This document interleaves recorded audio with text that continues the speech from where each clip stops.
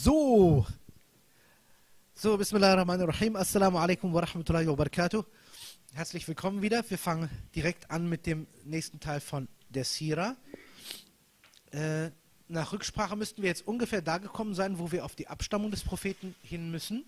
Das heißt, die Vorausbedingungen im Bereich der Sira sind, denke ich, von äh, Bruder Amir Sedan schon besprochen worden. Und bei der Abstammung haben wir jetzt zwei Aspekte, die ich vorstellen möchte. Einmal, jetzt würden wir eigentlich die PowerPoint-Präsentation gut gebrauchen können. Bitte. Das wäre ganz reizend, wenn das gehen würde, bitteschön. Also, ja. Okay, das passt schon. So, also, begeben wir uns mal zur Tafel. Die Zeit vor der Geburt. Jetzt haben wir verschiedene Bereiche, die man besprechen muss. Zum einen, bevor wir auf die verschiedenen Sira-Werke gehen und die Sicherheit der Überlieferung, so sagen wir ja, dass der Prophet Muhammad wasallam letztlich zu dem Volk der Araber zählt. Gut? Das ist natürlich nur die halbe Wahrheit betrachten wir erst einmal die Abstammung der Araber selbst, dann die spezielle Abstammung des Propheten, dann wissen wir etwas genauer Bescheid. Zum einen, alle Araber teilen sich grundsätzlich ein in Nord- und Südaraber. Man teilt sie ein in die Banu Kinana. Heute machen wir ein bisschen Genealogie am Anfang. Das sind die Nordaraber. Die Araber im Süden sind die Banu Qais. So. Das ist ein Wortspiel. Kinana ist der Köcher.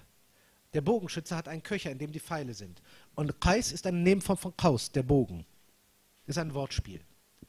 Die ursprünglichen Araber sind immer die Südaraber. Die Nordaraber leiten sich genealogisch von den Südarabern etwas ab. Darum sagte man in alter Zeit auch, die Südaraber sind die ursprünglichen, die Arab. Und die Nordaraber sind die Musta'arabun. Al-Arab al-Musta'arabun. Warum? weil man genealogisch sagen kann, dass die meisten der nordarabischen Stämme im Laufe der Zeit aus dem Süden, aus dem Jemen heraus aufgebrochen sind. Das ist jetzt einfach genealogisch gesehen.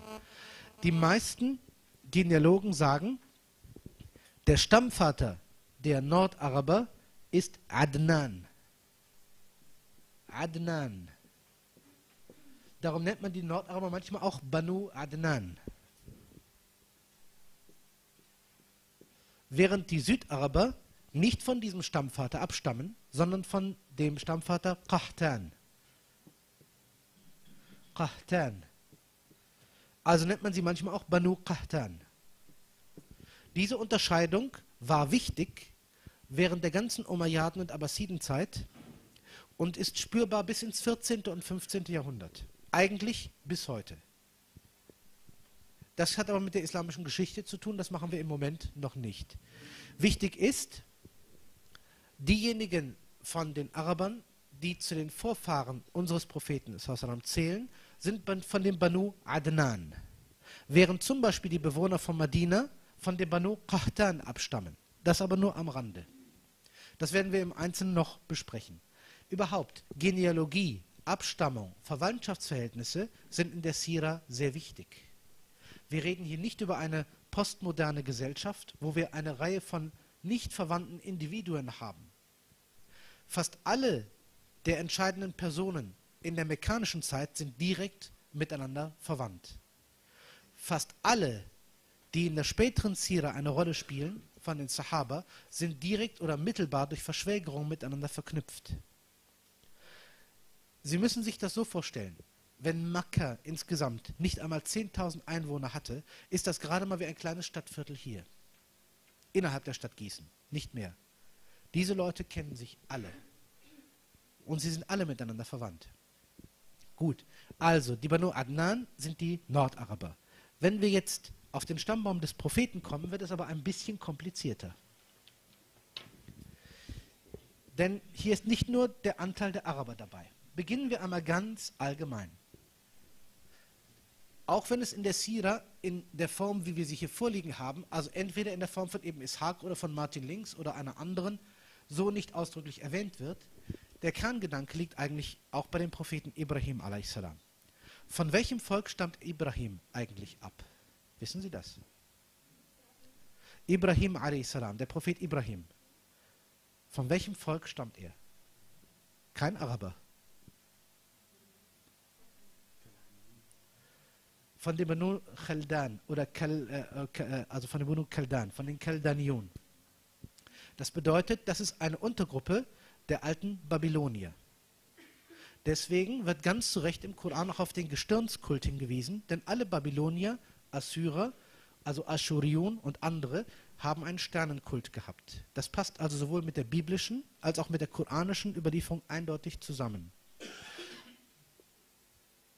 Ibrahim a.s. ist also ein Chaldäer, kein Araber.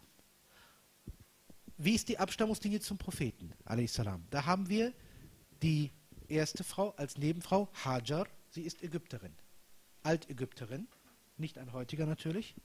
Also das heißt, Hajar bekommt mit Ibrahim den Sohn Ismail. Man ist übereinstimmend der Meinung, dass Ismail einer der Stammväter des Propheten ist. Ismail ist also von Vaterseite her Chaldäer und von Mutterseite her Ägypter, Altägypter. Das ist aber nur ein Teil der Abstammung. Wie heißt es dann weiter in der älteren Geschichte? Es heißt, bezüglich der Quelle Samsam und was damit zu tun hat, nachdem die Quelle Samsam entstanden ist und Hajar mit Ismail bei der Quelle sitzt, kommen einige der Banu Jurhum. Und hier kommen die Araber ins Spiel. Und das vergessen die meisten. Bei der Quelle Samsam sammeln sich nämlich dann Vögel. Denn in diesem Tal bis heute gibt es keine andere Wasserquelle. Damals war das auch so. Wasser kam, Vögel kamen. Das sahen einige, die vorbeizogen. Diese stammten von dem Stamm Jurhum. So, die Banu Jurhum sahen die Frau mit dem Kind bei der Quelle. Nach altarabischer Regel, die bis heute übrigens bei den Beduinen gilt, heißt es, wenn eine vorher nicht bekannte Wasserquelle eindeutig einer Person zugeordnet werden kann, weil sie daneben sitzt oder in ihrer Nähe ist und kein anderer Anspruch erhebt zu Recht, ist diese Person Besitzerin der Quelle. Also fragten die Oberhäupter der Banu Jurhum, die dort waren, wir würden gerne hier unsere Winterweideplätze einrichten, wenn die Quelle hier auf Dauer bleibt. Haben wir deine Erlaubnis? fragten sie Hajar. Sie sagte, ich erlaube es. Also errichteten sie ihre Hütten, wie, wie das die Beduinen bis heute auch so noch machen. Und daraufhin, als Ismail älter wurde, hat Ismail eine Frau von dem Banu Jurhum geheiratet. Hier ist die Verbindung zur arabischen Linie. Wenn also in den Zira-Überlieferungen heißt, der Prophet ist der Sohn von, von, von, der Sohn von Ismail, müssen wir dazu aber sagen, hier an diesem Punkt verlassen wir die arabische Linie und gehen über Ismail eine andere. Das heißt, Ismail heiratet eine Frau der Banu Jurhum. An diesem Punkt sind die Nachkommen mütterlicherseits arabisch, väterlicherseits von Ismail chaldäisch, wenn wir es ernsthaft betrachten. Hier ist die Verbindung zu Ibrahim. Weil das immer wieder gesagt wird, lege ich Wert darauf, dass man den Stammbaum richtig einordnet. Hier ist der Prophet mit dem Prophetenstammbaum verknüpft und hier an dieser Stelle kommen wir halt in die arabischen Stämme. Wobei sie bei den Zira-Versionen sehr viel mehr Stammväter vorfinden werden als Adnan. Aber das ist ein Problem. Aisha radiallahu anha hat genau wie Abu Bakr eine sehr, gute, eine sehr gute Kenntnis in der arabischen Genealogie. Abu Bakr as-Siddiq anhu war bekannt dafür, dass er die Genealogie der Araber ganz genau kannte. Wird in der Sira übrigens auch gesagt. Er hat seiner Tochter sehr viel beigebracht und Aisha, die Tochter Abu Bakrs, sagte, ähm, die Nordaraber stammen von Adnan. وَمَا قَبْلَ عَدْنَانَ لَا يُعْرَفْ Das heißt, die Nordaraber stammen von Adnan ab. Und was vor Adnan liegt, ist nicht genau bekannt.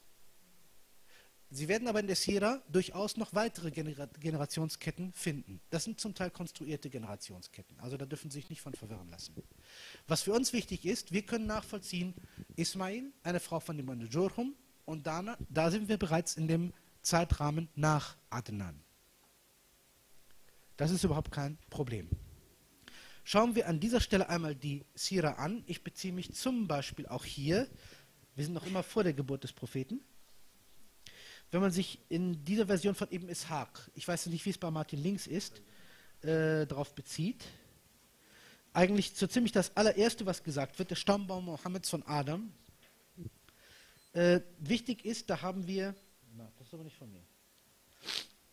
Da haben wir zum Beispiel die Nennung Adnan, dann kommt Ma'ad, dann kommt Nizar und Mudar. Das sind bekannte Stammesnamen. Das heißt, hier kommen wir zu verschiedenen Stammesnamen und nach mehreren Abzweigungen kommen wir dann auf den Namen Fihr. Das ist wichtig, denn der Name Fihr ist ein Nebenname zu Quraysh. In alter Zeit nannte man die Quraysh Fihr. Quraysh wurden sie später genannt. Ursprünglich ist ihr Name Fihr. Danach kommen die ganzen anderen Stämme. Für uns ist wichtig, die wichtigsten Untergruppen, die mit der Sira unseres Propheten zu tun haben. Das ist, ist einmal der Stammvater Abd al-Muttalib.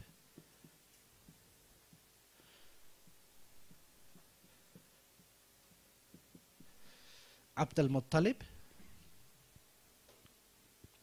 Dann kommt, meine ich, Moment, es kommt Hashim Abd al-Muttalib. Ich will mich jetzt nicht vertun. Moment, ich glaube, es ist nämlich umgekehrt. Moment. Nicht, dass ich mich jetzt vertue. Da bin ich jetzt immer ein bisschen unsicher. Moment. Äh, Abdul Muttalib. Ja, genau. Erst Hashim, dann, ja, genau, so ist es. Erst Hashim. Es gibt noch einige Glieder dazwischen, aber die lasse ich weg. Das ist jetzt wirklich nicht wichtig. Ich möchte sie nicht mit Namen voll äh, äh, ziehen, sondern wichtig ist Hashim. Der Begriff Hashim ist bis heute wichtig, denn es gibt auf der Welt keinen anderen Nachkommen der Banu Hashim mehr, nachvollziehbarerweise, als die Nachkommen von Fatima, der Tochter des Propheten, und Ali ibn Abi Talib. Kein anderer kann beanspruchen, von dem Banu Hashim abzustammen. Alle, die heute beanspruchen, aus dem Prophetenstammbaum zu stammen, müssen von zwei Linien abstammen. Nämlich erstens der Hosseini-Linie, Hossein, Sohn des Ali und der Fatima, oder Hassan, Sohn des Ali und der Fatima. Diese beiden Großstämme, von denen es auch umfangreiche genealogische Listen gibt, die gut belegt sind, das sind die Nachkommen des Propheten, die bis heute auch auf der Welt existieren. Niemand, der nicht sich auf die Nachkommenlisten beziehen kann, wird als Nachkomme des Propheten akzeptiert. Sie könnten fragen, woher weiß man das denn? Weil es immer ein Politikum war, es bedeutete politischen Anspruch vom Propheten abzustammen, über Jahrhunderte hinweg, wurden die Nachkommen genauestens registriert. Genauestens. Seit der ersten Zeit wurden alle Nachkommen, die von Al-Hussein und Al-Hassan abstammten, in den Staatsregistern der Umayyaden und Abbasiden festgehalten, später in Bücher gefasst, die es auch heute noch durchaus erwerblich gibt. Und diese Werke sind Standardwerke.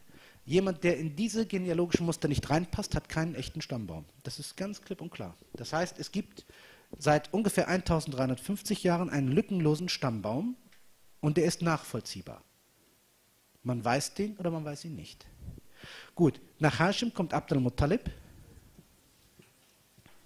der Großvater des Propheten. Danach kommt der Vater, das ist Abdullah oder Abdullah.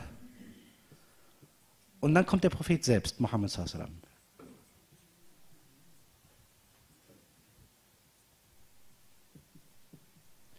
So, das ist jetzt die grundsätzliche Anordnung. Was man sich merken muss vom Stammbaum, ganz klar, der Vater ist Abdullah, der Großvater Abdul Muttalib. Er kommt von Hashim. Das ist die Unterstammesgruppe. Das ist wichtig. Die gehören zu den Quraysh. Die Quraysh stammen letztlich von den Nordarabern ab. Und zwar über die Jurhum kommt die Verbindungslinie. Das reicht. Wenn man das weiß, weiß man über Genealogie des Propheten genug. Für den Normalgebrauch. Wenn Sie ein bisschen detaillierter sind, müssen Sie natürlich mehr suchen. Aber das brauchen Sie erstmal alles nicht. Es könnte aber hier und da wichtig werden, wenn Sie fragen, wie ist zum Beispiel Omar ibn al-Khattab verwandt? Warum gab es ein Problem mit verschiedenen Heiraten? Da spielt das durchaus eine Rolle. Die Handlungsweise der Sahaba ohne ihre Abstammung ist nicht nachvollziehbar. Wir müssen das real mit einbeziehen. Aber dazu kommen wir später. So, das ist dieses. Wenn man nun in der Sira nachschaut, hier gibt es einige Sachen, die ich nur kurz erwähne. Und zwar das Gelübde von Abd al-Muttalib, wo nämlich gesagt wird, äh, da gehe ich mal nur drauf ein, einst gelobte Abd al-Muttalib, der Großvater Mohammeds, wenn mir zehn Söhne geboren werden und aufwachsen, bis sie mich schützen können, werde ich einen von ihnen, äh, Allah, bei der Kaaba opfern. Es erscheint dir vielleicht seltsam, aber dieser Gedanke, einen Sohn zu opfern, ist in der semitischen Tradition nicht so unüblich. Das war nicht so unüblich, das kommt häufig vor. Im Grunde ist dieser Gedanke dem Ibrahim ja auch nicht so fremd. Bei den Phöniziern pflegte man das auch zu machen. Das war also nicht so fremd. Uns erscheint es heute seltsam. Ja, also wir können uns das heute gar nicht so vorstellen, aber das war damals nicht so unüblich. Jedenfalls, Abdul Muttalib hat das gelobt. Er bekommt also die Söhne und dann, als er die Söhne äh, bekommt, stellt sich dann, als sie groß werden, wirklich die Frage, was er tut. Hierzu muss man sagen, es gibt hier einige Einrichtungen, die kulturell später noch wichtig werden, weil sie Vorwürfe an den Propheten werden. Ich werde sie im Laufe der Zeit vorstellen. Und äh, dann heißt es dann letztendlich, äh, dass er die Söhne versammelt. Sie schreiben einen Namen auf bestimmte Lospfeile. Und dann letztendlich ist es so, dass dieser Abdullah übrig bleibt. Dann anschließend ist die Frage, wie er seinen Sohn loslösen kann. Ich mache das mal ganz kurz. Es gibt eine Einrichtung, man nennt ihn den Kahin.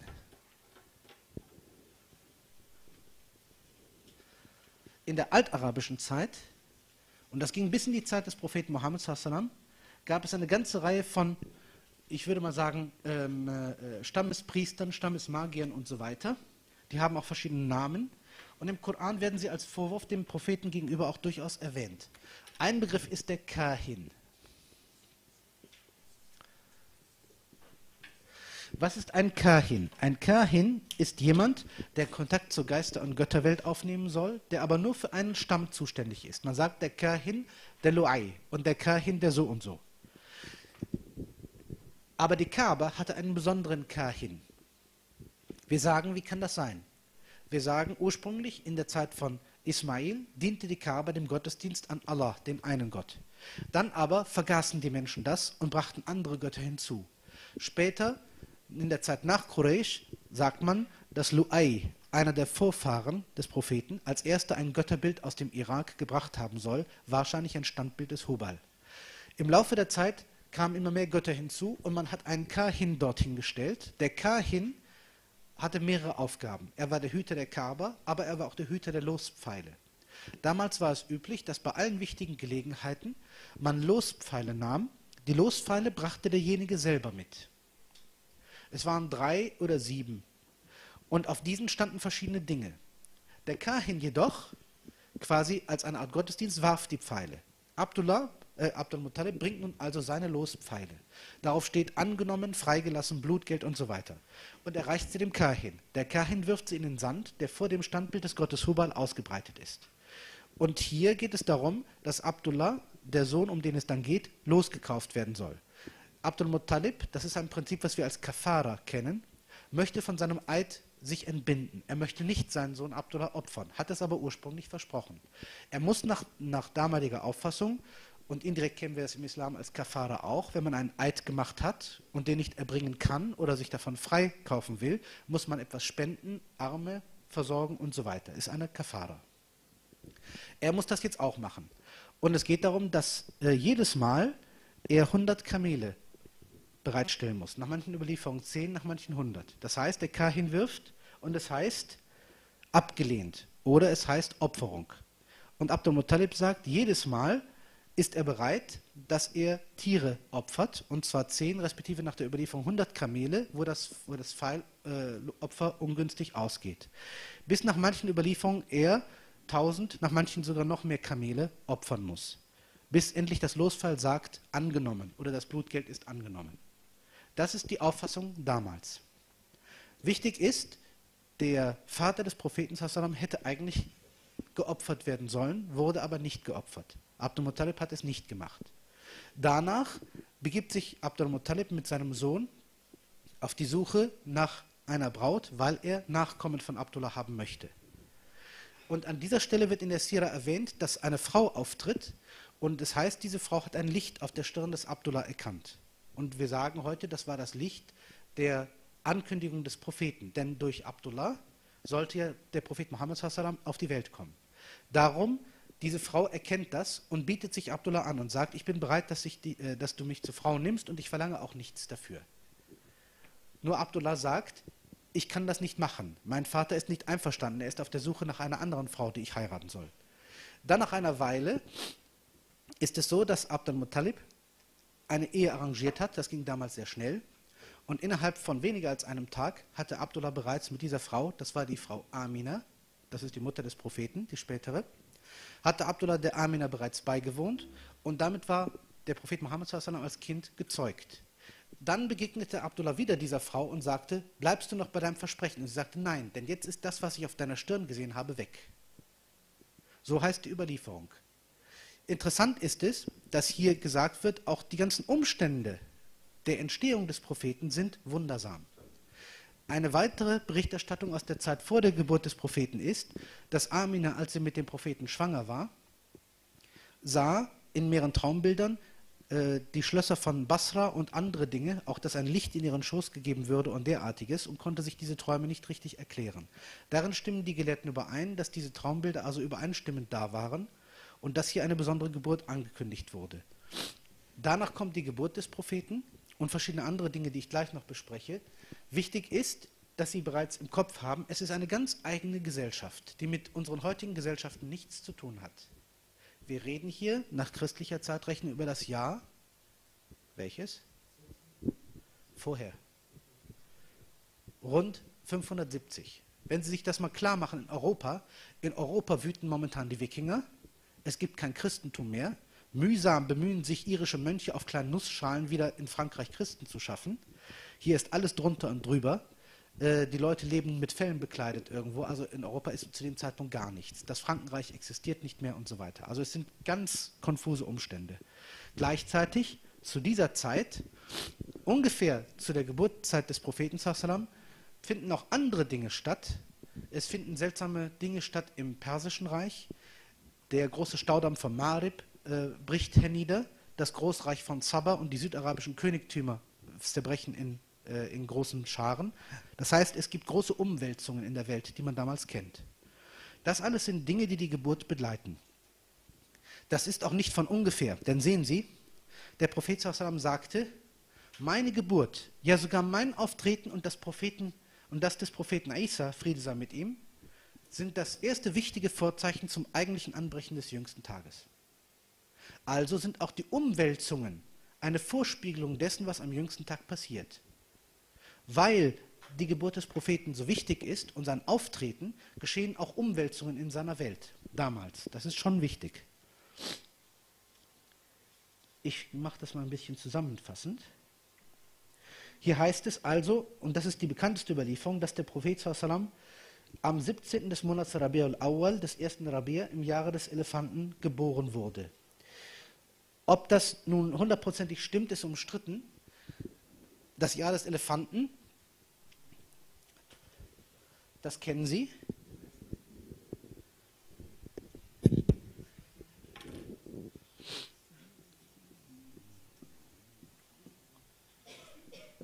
Das wird in der Sira nicht weiter ausgeführt, aber es ist wichtig.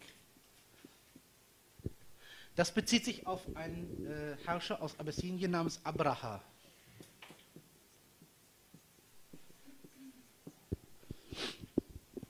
Dieser Herrscher Abraha war zum koptischen Christentum überge übergewechselt und beschloss, aus verschiedenen Gründen eine Strafexpedition gegen die Quraysh zu unternehmen. Denn damals, müssen Sie wissen, wie übrigens heute auch noch, gab es verschiedene Bestrebungen des abassinischen Königreiches, sich auf die arabische Halbinsel auszubreiten. Das ist eine wechselseitige Beziehung immer gewesen, über Jahrhunderte. Und es zogen einige Kriegselefanten mit, vor allen Dingen einer, der besonders mächtig war. Jetzt hatte Abraha sich versammelt in dem Tal vor Mekka und Abdul Muttalib war das Oberhaupt der Quraysh zu diesem Zeitpunkt.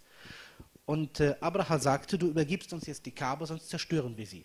Und er sagte, ich tue das nicht. Er sagte, Abraha, was willst du jetzt verhindern? Und äh, Abdul Muttalib sagte, die Kaaba hat einen Herrn, der wird für sie selbst sorgen. Das sind interessante Gedanken, die werden in der Überlieferung gesagt. Dann heißt es, zogen sich die Quraysh zurück, weil sie diesem Heer, was da kam, nicht standhalten konnte. Und danach kommt das Ereignis, was sie in Suratul Fil lesen, wo es heißt, äh, siehst du nicht die Gefährten des Elefanten? Und das sind die Leute der Armee von Abraha, weil es heißt, dann hat Allah Engel geschickt, die haben Vögel beauftragt, die mit Steinen diese Armee so lange beworfen haben, bis jeder von ihnen gesteinigt war, ohne Ausnahme. Und auch der Elefant soll zugrunde gegangen sein, bevor er die Kaaba erreicht hatte. Dieses Beispiel wird in der Suratul Fil, in den letzten zehn Suren des Korans, also in der äh, zehnten von hinten gerechnet, beschrieben. Das ist der historische Anlass.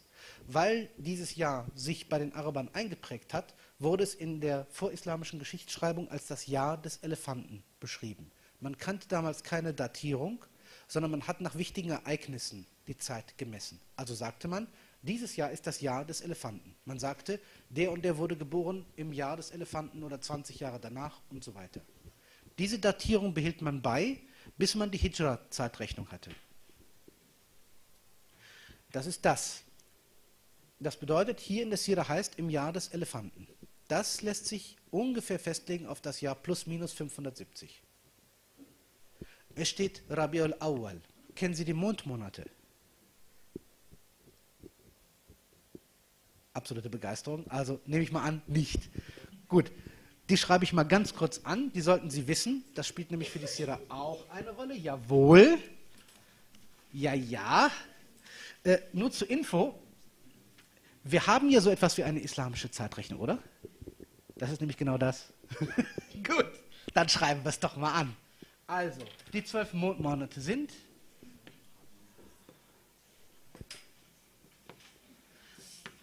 Ich meine, wir brauchen gar nicht über Mondbeobachtung und sowas zu sprechen, wenn wir die Monatsnamen nicht mal kennen. Also.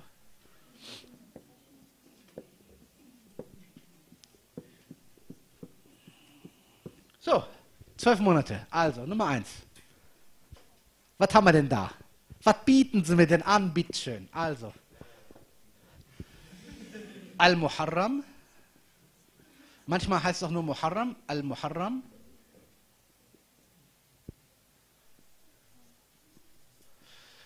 Dieser Monat hieß ursprünglich darum so, weil in ihm jede Kriegshandlung verboten war. Dann kommt der Monat Safar mit Sod, Safar. Der hieß ursprünglich so, weil in der Zeit, als noch äh, kein reines Mondjahr war, in diesem Monat das erste Gelb der, aufspr äh, der aufsprießenden äh, äh Pflanzen sichtbar wurde. Dann kommt Rabi'ul Awal, man äh, macht es manchmal mit einer Zahl, Rabiul Awal, der erste Rabia, das sind Frühlingsmonate. Rabia ist Frühling. Der erste Frühling, dann kommt der zweite, Rabi al-Thani, dann kommt Jumada, Jumada, Jumada al-Ula, der erste Jumada. Jumada kommt von Jamad, die Erde wird langsam heiß und fest.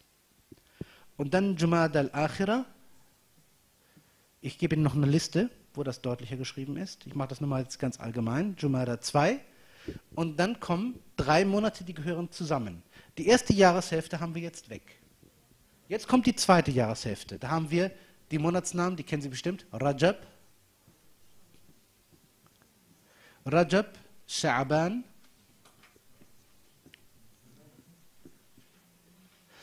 Rajab ist, äh, ist der Monat, wo man zum ersten Mal aufbricht und die alten Weideplätze zurücklässt. Sha'ban, wo die Völker sich versammeln, von Sha'b.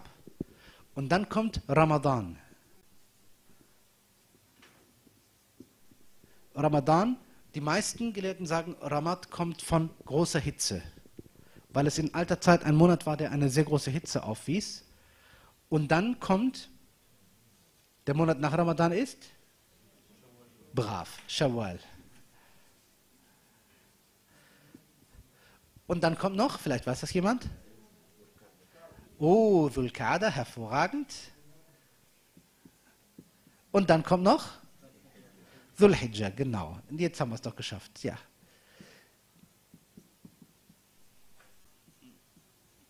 So, also, wenn es heißt im Monat Rabiul Awal, können Sie das ungefähr einordnen.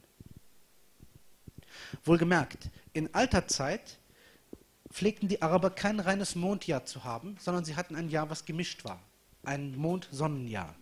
Das sah so aus, dass sie sich nach dem Mond gerichtet haben, aber wenn der Unterschied zum Sonnenjahr mehr war als ungefähr ein, ein, halber oder ein ganzer Monat, je nachdem, fügte man einen 13. Monat ein. Den nannte man An-Nashi, den Zuwachsmonat. Diese Praxis wurde im Koran verboten, aber erst in der Zeit von Madina.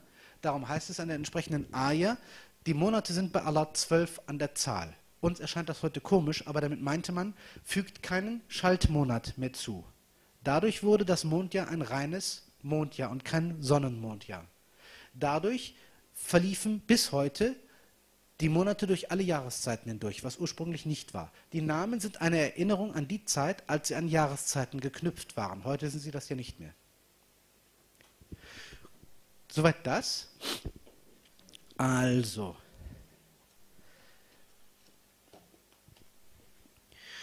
Dann heißt es, dass zum Beispiel der Prophet, was damals üblich war, eine Amme gegeben wurde. Halima heißt sie. Die Amme Halima.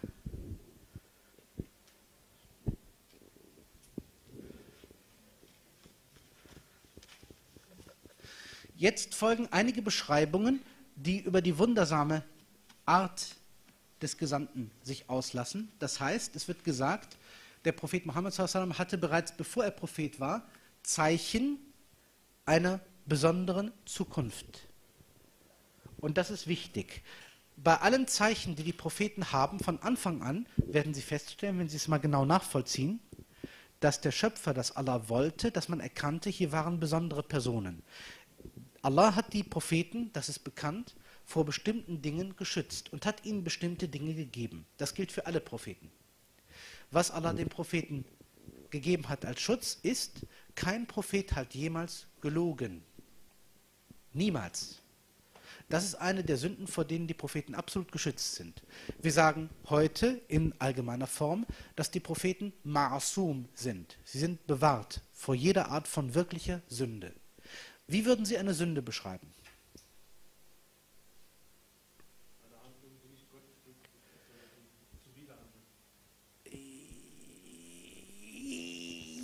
Nicht ganz. Es gehört noch was dazu. Absichtlich und es gehört noch was dazu. Ja, und es gehört noch was dazu? Nein. Sehen Sie, der Unterschied ist, wir sagen, Propheten können auch Fehler machen. Das ja, aber keine Sünde. Warum? Wenn sie etwas tun, wenn zum Beispiel der Prophet etwas tut und Allah, an drei Stellen im Koran ist das der Fall, tadelt den Propheten. Warum hast du das gemacht? Zum Beispiel, wo, äh, wo Allah den Propheten tadelt bezüglich Al-Ama, Ibn Umm Maktum. Da wird der Prophet getadelt. Es wird gesagt, warum wendest du dich den Oberhäuptern der Quraysh zu? Jetzt frei, wiedergegeben und hast dich von dem blinden Mann, der extra zu dir gekommen ist, abgewandt. Der Prophet kann zwar Fehler machen, aber keine Sünde. Was ist der Unterschied? Eine Handlung, die nicht korrekt ist oder die fehlerhaft ist, tut also dieser Mensch, ohne dass er sich dessen bewusst ist, dass sie schlecht ist. Sobald er aber einmal weiß, dass die Handlung schlecht ist, tut er sie nie wieder. Erst jetzt spricht man von einer Sünde. Es heißt auch zu Recht, wie kann ich einem Menschen vorwerfen, eine Sünde getan zu haben, wenn er sich gar nicht bewusst war oder sein konnte, dass sie falsch war, die Handlung? Kann ich nicht. Unwissenheit in islamischer Auffassung schützt vor dem Sündenbegriff. Es heißt, er tut einen Fehler, aber wenn er nach bestem Wissen und Gewissen das nicht anders tun konnte, ist es zwar ein Fehler, aber keine Sünde. Sünde ist aber, wenn ich genau weiß, es ist verboten und tue es trotzdem.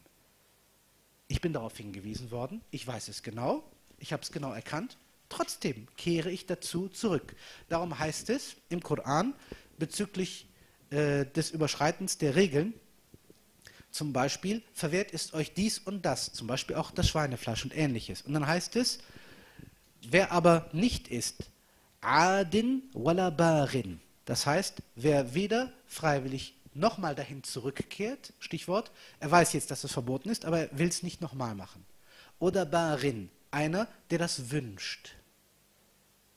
Das heißt, der Wunsch im Herzen, ich möchte diese Handlung tun, obwohl ich weiß, dass sie falsch ist, ist sündhaft. Ich weiß, es ist mir verboten, zum Beispiel dieses und jene, jenes zu begehren von meinem Nachbarn. Zum Beispiel mein Nachbarn hat ein schönes Auto. Ich begehre dieses Auto. Ich wünschte, ich könnte es ihm wegnehmen. Diesen Wunsch habe ich im Herzen. Das ist eine Sünde. Ich weiß, ich darf es nicht. Ich weiß, das ist sein Besitz. Und wenn ich schlau wäre, wüsste ich, dass Allah mir gibt und mir nimmt und das unabhängig ist von dem Auto des Nachbarn. Aber ich bin dumm. Ich sage, dieses Auto, ich will es haben. Ich begehre es. Ich will es haben. Ich wünschte, ich könnte es ihm wegnehmen. Das ist der Grund von Neid. Neid ist die erste Stufe von Dummheit und von Bösartigkeit. Denn der Neider, wenn er schlau wäre, wüsste, dass Allah seine Gnade gibt und nimmt, wie er will. Und dass ich heute etwas genommen bekomme und morgen etwas gegeben bekomme. Meinem Nachbarn etwas zu neiden heißt nicht verstanden zu haben, wie die Schöpfung funktioniert. Aber leider ist das bei den meisten Menschen so. Das heißt zum Beispiel, ich sehe, jemand hat ein schönes Kleid. Mensch, sieht der gut aus. Ich wünschte, ich hätte das auch. Mann, warum kann ich das nicht haben? Ach, ich wünschte, ich könnte es ihm zerreißen auf der Brust. Ich will es haben. Ja, das ist so dieser Neid, der zerfrisst, der richtig arbeitet. Ich muss sagen, viele Muslime sind Meister drin. Also, jedenfalls diese Art von Fehler, man weiß, man darf es nicht, aber man strebt doch dahin. Das haben Propheten niemals. Propheten, wenn sie erkannt haben, dass etwas falsch ist, haben keinen Wunsch danach und kehren nicht dahin zurück. Daher sagt man, ein Prophet kann bestimmte Fehler machen, wohlgemerkt auch nicht alle, aber er kehrt niemals dahin zurück. Das ist das, was wir als den Aspekt des Fehlers betrachten. Was, was meinen wir mit Ma'asum? Das ist bei Aqidah wichtig übrigens. Haben Sie den Begriff äh, Ma'asum bei den Propheten behandelt? Noch nicht. Das ist der Begriff des Ma'asum.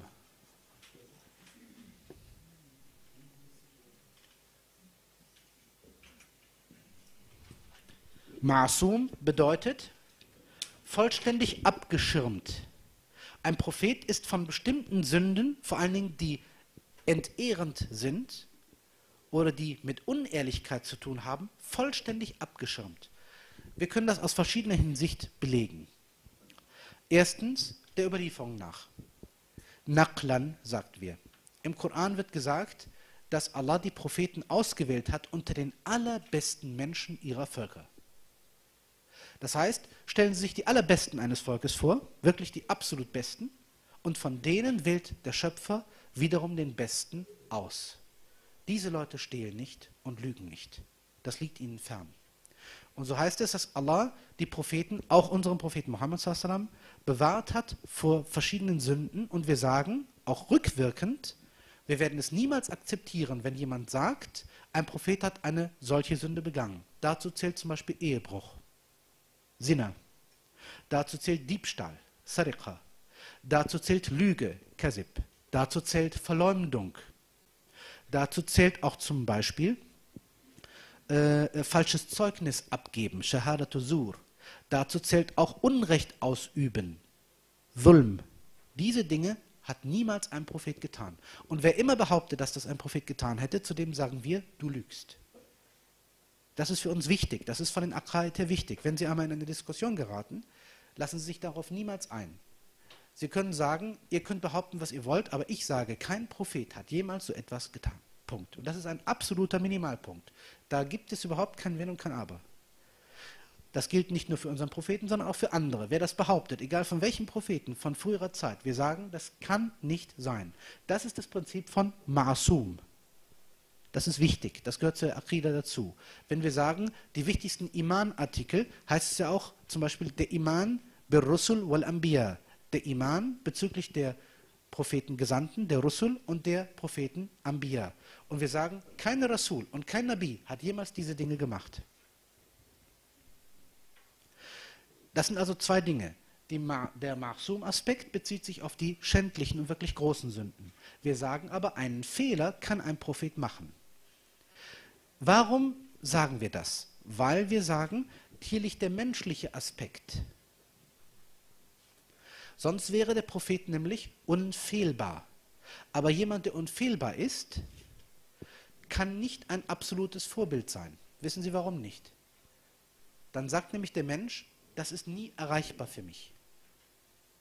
Wenn man aber sagt, das ist zwar vielleicht nicht wirklich erreichbar, weil der Prophet schon etwas Eigenes ist, aber es ist etwas, was dem Erreichbaren nahe kommt, so wird es ein nachlebbares Beispiel. Und die Propheten sollen ja ein Beispiel geben. Die Propheten von ihrer Geburt an sind ein Beispiel für uns. Der Prophet sagte, in meiner Überlieferungskette gibt es keine Hurerei und keinen Ehebruch. Das heißt, keiner meiner Vorfahren wurde jemals durch außerehelichen oder unehelichen Geschlechtsverkehr gezeugt. Es besteht kein Makel in dieser Hinsicht auf meiner Generation, meiner Generationslinie. Und er sagt, ich stamme von den Vornehmsten der Araber ab. Und ich stamme, deswegen sagt man, äh, Sayyid Sadat al-Arab, der Herr unter den Herren der Araber. Das ist dieser Hintergedanke. Und er stammt von der Prophetenlinie ab. Und daher können Sie jetzt nachvollziehen, wenn, wenn Allah sagt, Min al-Mustafain al-Achyar. Wir haben die Propheten gewählt von wo? Min al-Mustafain al-Achyar. Al-Mustafa, auch ein Beiname unseres Propheten Muhammad bedeutet der Gereinigte. Und Achyar kommt von Khair, diejenigen, die die Besten sind. Das ist der Hintergrund. Ich sage das bewusst, weil ähm, viele Muslime entweder dahin gehen, aus dem Propheten einen Wundermann zu machen, was so nicht ganz stimmt, oder dass sie ihn nicht richtig einschätzen bezüglich seiner Stellung. Wenn wir auf Halima noch ganz kurz zurückkommen, da gibt es mehrere Wunderdinge, will sagen, es war damals üblich, übrigens in Europa auch lange Zeit, bis vor ungefähr 200 Jahren völlig üblich, dass eine vornehme Familie ihre leiblichen Kinder Pflegeeltern gegeben hat. Dahinter stecken mehrere Aspekte. Einmal der Aspekt, fast kein Elternteil kann sich davon freisprechen, ich bin selbst Vater, ich weiß das, kann sich davon freisprechen, dass es die Kinder äh, sachlich erzieht. In alter Zeit hat man gesagt, wir betrachten es so, dass Fremde, wenn sie anständig sind, in einem bestimmten Bereich gut unser Kind erziehen können. Und zwar bis zu einem bestimmten Alter. Man sagte im Alter von sieben Jahren nicht mehr. Das Kind blieb also äh, direkt nach der Geburt noch bei der Mutter, aber so im Alter von einem Jahr ungefähr, eineinhalb Jahre, wo man nicht mehr fürchtete, dass das Kind bei jeder kleinen Krankheit sterben könnte, hat man das Kind dann einer Amme gegeben. Oder einem anderen, der das Kind aufgezogen hat. Das war bei den Quraysh allgemein üblich und man pflegte dazu, Ammen zu nehmen, die aus der Beduinenbevölkerung stammten. Denn die Umgebung von Makka ist nicht geeignet für Landwirtschaft, nur für Viehweide. Also, die Halima stammt von, einem, von einer Stammesgruppe, die mit Ziegen, mit Schafen und mit Kamelen rings um das Gebiet von Makka herumzieht, ähnlich wie die Jurhum vor ihnen, und schauen, dass sie durch die Weideplätze ihre Tiere versorgt bekommen.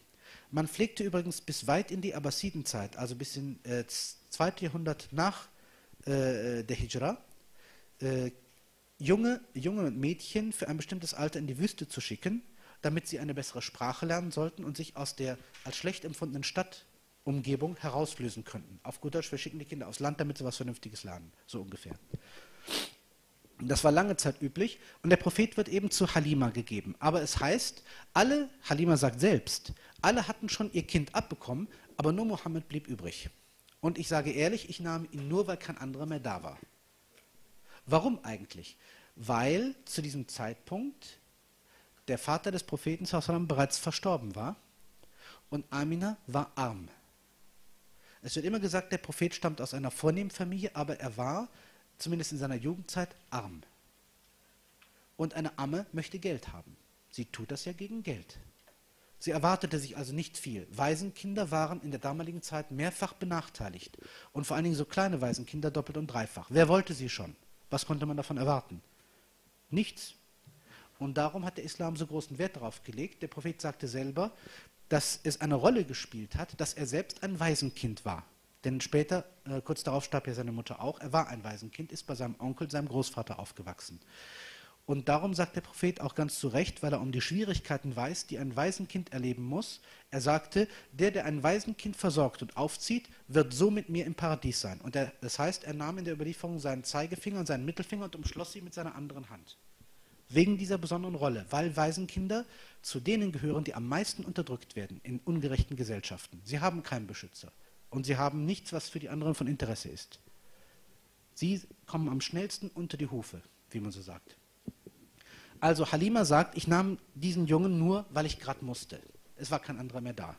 Alle hatten schon ihren Jungen abbekommen und ich hatte gerade ein Kind, wo ich stillte. Ja, dann habe ich ihn genommen. Und dann heißt es, dann gab es verschiedene Wunderzeichen. Sofort kam mehr Milch, sodass ihr Sohn auch mehr trinken konnte und ruhig wurde, was vorher nicht der Fall war.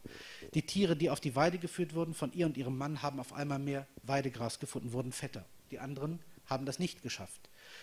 Bis hin zu dem Punkt, wo sie den Jungen gar nicht mehr abgeben wollte, weil sie sagte, ich fürchte, dass die Baraka, diese aktive Segenskraft, weggeht, wenn ich ihn wieder weggebe. Als dann Amina ihren Sohn wiederhaben wollte, nach einiger Zeit, sagte sie, lass ihn bei mir. Ich fürchte nämlich, weil jetzt gerade die Pest ist in Makka, es gab eine Krankheit, dass der Junge geschädigt werden könnte. Da ließ Amina den Jungen bei ihr, aber Halima sagt ehrlich, ich wollte ihn nicht darum zurückgeben, sondern weil ich ihn nicht weghaben wollte. Also man ist in der Überlieferung immer sehr offen und ehrlich. Also äh, da finden Sie keine Heuchelei. Da heißt es ja, ich mochte den nicht und ich wollte ihn haben und dies und das. Das wird ganz offen ausgedrückt, ja. Es ist äh, auch ein Zeichen der Echtheit der Überlieferung, denn sehen Sie, spätere Zeiten haben das Ganze idealisiert. Wenn Sie solche Aussagen sehen, ich wollte ihn eigentlich nicht nehmen, sagt sie vom späteren Propheten, dann ist es wirklich ungeschminkt. Das ist Originalton. Das zeugt eigentlich für die Echtheit der Überlieferung. Gut, das ist das. Jetzt vielleicht ein bisschen weiter. Das haben wir ja schon, seine Kindheit. Zur Kindheit des Propheten ist nicht sehr viel bekannt. Die Überlieferungen der Sira sind unterschiedlich stark. Es gibt eigentlich nur zwei, drei Ereignisse, die überhaupt berichtet werden. Einmal sagt der Prophet selber, quasi in der Rückschau, als ich Kind war, habe ich Schafe und Ziegen gehütet. Und ich sage euch, es hat keinen Propheten vor mir gegeben, der nicht auch zu einer bestimmten Zeit Schafe und Ziegen gehütet hat. Gibt eine berühmte Überlieferung. Aber das wird in der Sira nicht erwähnt, das haben sie in Hadith-Sammlungen anderweitig. Das sagt nicht sehr viel. Das zweite, die Überlieferung, die hier auch genannt wird, in der Sira von Ibn Ishaq, äh, wonach einmal äh, zwei Engel gekommen sind und den äh, jungen Mohammed, also mit sieben Jahren wahrscheinlich, sieben, acht Jahren, zu Boden warfen, ihm die Brust öffneten und etwas Dunkles herausholten. In der Überlieferung heißt es, sie suchten nach seinem Herz und fanden da etwas Dunkles und warfen es fort. So als ob man sagen würde, das Herz ist gereinigt. Dann heißt es, wollten sie ihn aufwiegen, nachdem sie das Innere gewaschen hatten, mit etwas, was man nicht näher beschreiben kann. Und dann sagten sie, wiege ihn gegen 100 auf seinem Volk auf. Und dann heißt es, du schaffst es nicht. Und dann sagte der, der zweite wieder, wiege ihn gegen 1000 aus seinem Volk auf. Und sie versuchen es. Und dann sagt der andere, lass es. Und selbst wenn du 1000 und mehr nehmen würdest, sie wiegen ihn nicht auf. Und wenn du sein ganzes Volk nimmst, auch nicht. Dann heißt es, ein Junge hätte das gesehen heißt es in einer Überlieferung, und hätte das äh, also von Furcht erfüllt, der Halima berichtet. Wie auch immer, ist das der erste Bericht, wo es heißt, es wird deutlich, dass hier etwas Wundersames passiert, und zwar etwas Wundersames, was auch erschreckend ist. Und hier wird das zum ersten Mal auch Amina berichtet. Die berichtet dann wiederum von dem, was sie während ihrer Geburt gesehen hat. Bald aber darauf stirbt Amina und man vergisst das wieder. Dann kommt der Prophet zu seinem Onkel, er kann nicht sehr alt gewesen sein. Die genaue Jahreszahlen werden Sie kaum finden. Sie können sagen plus minus 10 bis 12. Das heißt, erst zu seinem Großvater, dann zu seinem Onkel. Der Großvater Abdul Muttalib stirbt auch kurz darauf, danach kommt er zu seinem Onkel Abu Talib. Abu Talib, obwohl er nachweislich nicht Muslim wird, ist einer der Menschen, die den Propheten am meisten beschützen und unterstützen werden. Er ist sein Onkel väterlicherseits, einer der Onkel väterlicherseits. Und sie finden in der Prophetensira interessanterweise unter den direkten Onkeln und Neffen des Propheten väterlicherseits so viele, die alle Spektren beinhalten. Sie haben Leute wie zum Beispiel äh, Abu Jahl, die größten Gegner des Propheten, und sie haben Leute wie zum Beispiel Abbas, der sogar noch in der Zeit kurz vor der Hijra auftritt und damals noch Mushrik ist und für seinen Neffen spricht und sagt, ich fürchte, dass ihr ihm, ihr Leute von Medina, etwas Ungünstiges antun könntet, wenn ich ihn euch mitgebe. Also es gibt alle Spektren. Das ist nicht schwarz-weiß. Ja, aber richtig, Entschuldigung. Und äh, auf jeden Fall, die Sache ist so, dass wir von der Kindheit nicht viel wissen. Wir wissen nur, es soll so sein, dass der Prophet mit einigen anderen Jugendlichen in Makkah einen Bund gegründet hat, man nennt das äh, äh, Al-Fudul, also die Vorzüglichen, will sagen, dass er sich mit anderen Jugendlichen, die zu ihm passten, zusammentat und sagte, lasst uns etwas Gutes tun. Also zum Beispiel Armen helfen oder äh, äh, Leuten, äh, Leute unterstützen, die es schwierig haben und ähnliches. Man nannte das dann den Bund der Vorzüglichen, Al-Fudul. Das wird überliefert, aber mehr als das gibt es eigentlich dazu nicht. Danach kommt dann eigentlich schon die, äh, die Jugend, also die Jugendzeit, wo der Prophet ähm, mitzieht. Das bedeutet, ungefähr in dem Alter so irgendwo zwischen 12 und 15 muss er das erste Mal mit einer Karawane der Quraysh mitgezogen sein. Das ist dann die, der Bericht von Bahira. Das bedeutet, es heißt, die Quraysh hatten die Winter- und die Sommerkarawane. Das erwähne ich mal hier. Da müssten wir später auch ein paar Karten noch dazu nehmen. Ich mache es jetzt mal ganz grob. Hier haben Sie also Gaza und hier haben Sie die arabische Halbinsel. So, Persischen Golf und dann haben sie hier das Horn von Afrika und Somalia und dann haben sie hier die syrische Region, ganz allgemein. Hier haben sie Makka und man pflegte damals es so zu machen, dass man im Sommer loszog von Makka an die Küste. Der Küste folgte, bis man nach Gaza kam. Dort ist man der Küste eine Weile gefolgt, bis man einen alten Handelsweg nach Damaskus nahm in Damaskus hat man dann Trockenwaren, Trockenfrüchte aufgenommen, Stoffe gekauft, vor allen Dingen Seide und andere Sachen und ist dann wieder zurückgekehrt. Schmuck auch, solche Sachen. Denn Makka, wie gesagt, hatte ja keine Nahrungsquelle außer Fleisch, Fett und Milch. Aber das reicht nicht zur gesunden Ernährung, damals auch nicht. Wovon sollte man sich in Makka ernähren? Durch Handel. Und der Handel fing, fing halt so an. Man hat einige Waren mitgenommen, die nützlich waren, und hat sie eingetauscht. Und hier, der Winterzug, die Winterkarawane, geht bis in die Berge nach Jemen, nach Sana'a. In Sana'a hat man andere Sachen gekauft, Wollmäntel, vor allen Dingen den Murt, das ist ein besonderer Wollmantel, den man damals sehr geschätzt hat, für die Winterzeit, wo es sehr kalt werden kann. Und man hat Waffen gekauft, Eisen, Stahl und Gebrauchsgegenstände dieser Art. Das wird im Koran erwähnt in der Surat Quraysh. Wissen Sie die? لإيلاف قريش wegen der Vorliebe der Quraysh إلافهم رحلة الشتاء والصيف für die Vorliebe des Handelszuges Rehla im Winter und im Sommer. So beginnt das. Denn das war eine Sache, die elementar war wie die Quraysh. Hier begleitet der Prophet zum ersten Mal seinen Onkel und andere auf der Reise. Und als sie vor Damaskus sind, irgendwo auf der Strecke, ganz genau wissen wir es nicht, kommt der Bericht von Bahira. Man sagt, das sei ein Mönch gewesen. Wir wissen nicht genau von welcher Gruppe. Aber es heißt, dieser Mönch hatte öfters schon die Quraysh bewirtet, als sie äh, bei ihrer Karawane dort waren, bei ihm vorbeigegangen sind.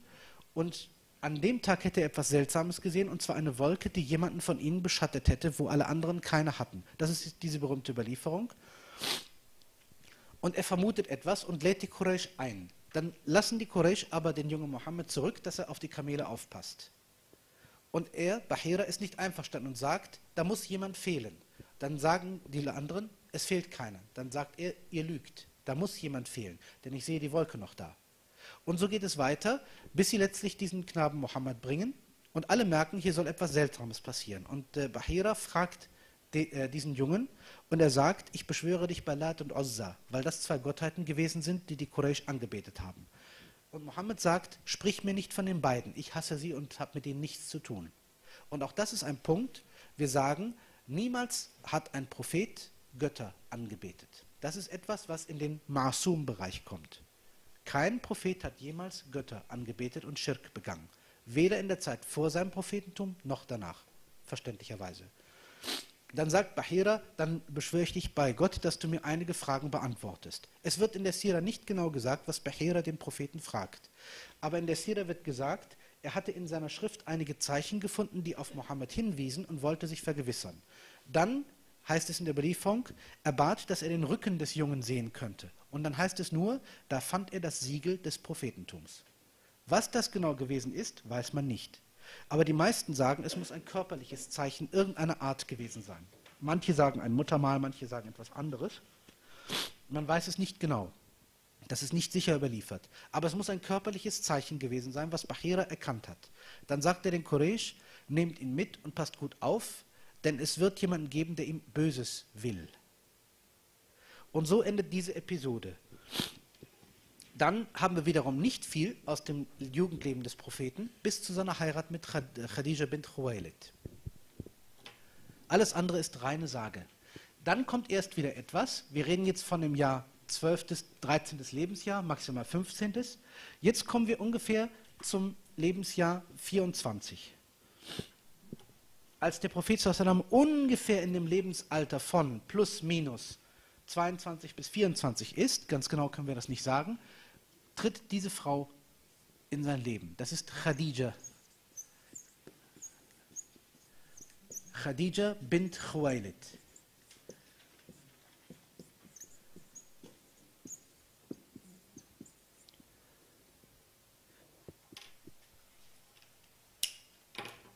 Hierzu muss man sagen, dass der Prophet nach wie vor nicht wohlhabend war.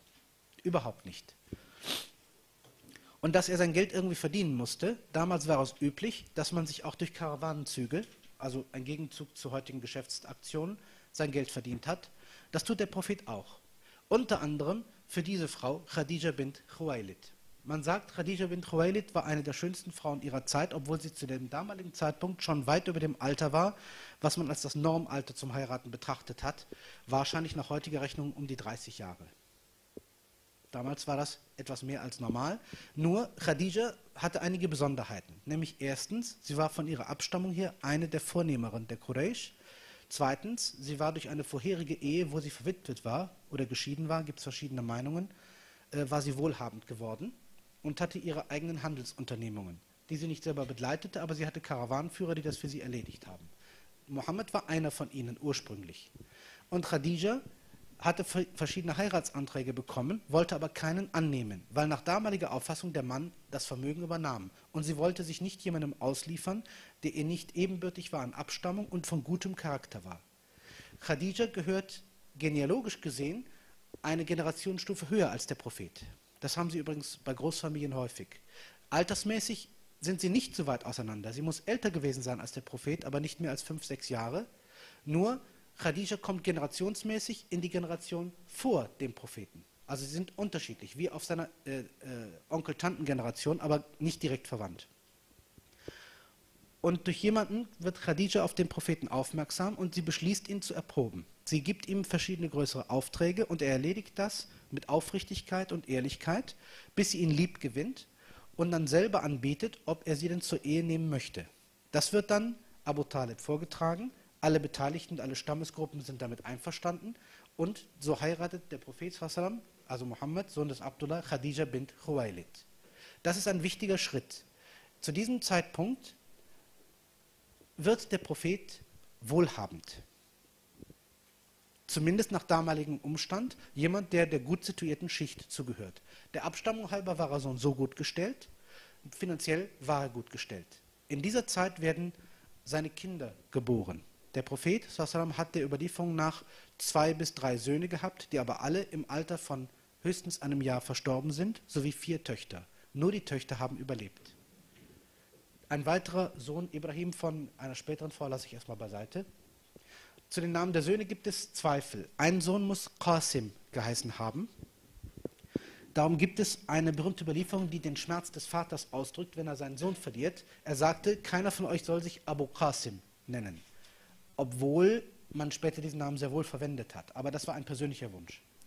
Also einer der Söhne muss Qasim geheißen haben. Der ist aber in ganz jungem Alter verstorben. Dann gibt es eine Überlieferung, dass es einen Sohn gegeben habe namens Tahir, der ist aber auch früh verstorben. Manche sagen, dass Tahir auch Tayyib geheißen habe. Vielleicht waren es auch drei Söhne, das wissen wir einfach nicht genau. Auf jeden Fall sind alle diese Söhne, ob es nun zwei oder drei waren, ganz früh verstorben. Bleiben also nur die Mädchen übrig. Weiß jemand die Töchter des Propheten, also ihre Namen? Es gibt einmal den Namen Zainab, ja. Um Kulthum, richtig. Weiter. Fatima, genau. Und weiter, noch ein Name? Ruqayya, genau.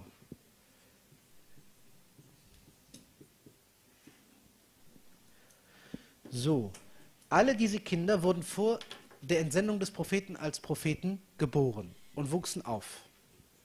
Das heißt, zu diesem Zeitpunkt, ungefähr zwischen seinem 25. und 26. Lebensjahr und seinem 40. Lebensjahr, war der Prophet Vater, wohl situiert, gut gestellt, hoch angesehen von jeher. Und das lag an verschiedenen Dingen, die sich wahrscheinlich davor, vielleicht auch danach ereignet haben. Ein Ereignis ist wichtig, das nenne ich hier, das ist der Wiederaufbau der Kaaba. Das ist wichtig. Zu einem bestimmten Zeitpunkt, das wird in der Sira mehrfach erwähnt, beschlossen die Quraysh, die Kaaba neu aufzubauen. Ihr solltet dazu wissen, oder Sie sollten dazu wissen, die Kaaba war ursprünglich nach den Überlieferungen nicht sehr hoch gebaut. Nur ungefähr brusthoch, etwas mehr als brusthoch. Und die Kaaba sah anders aus als heute.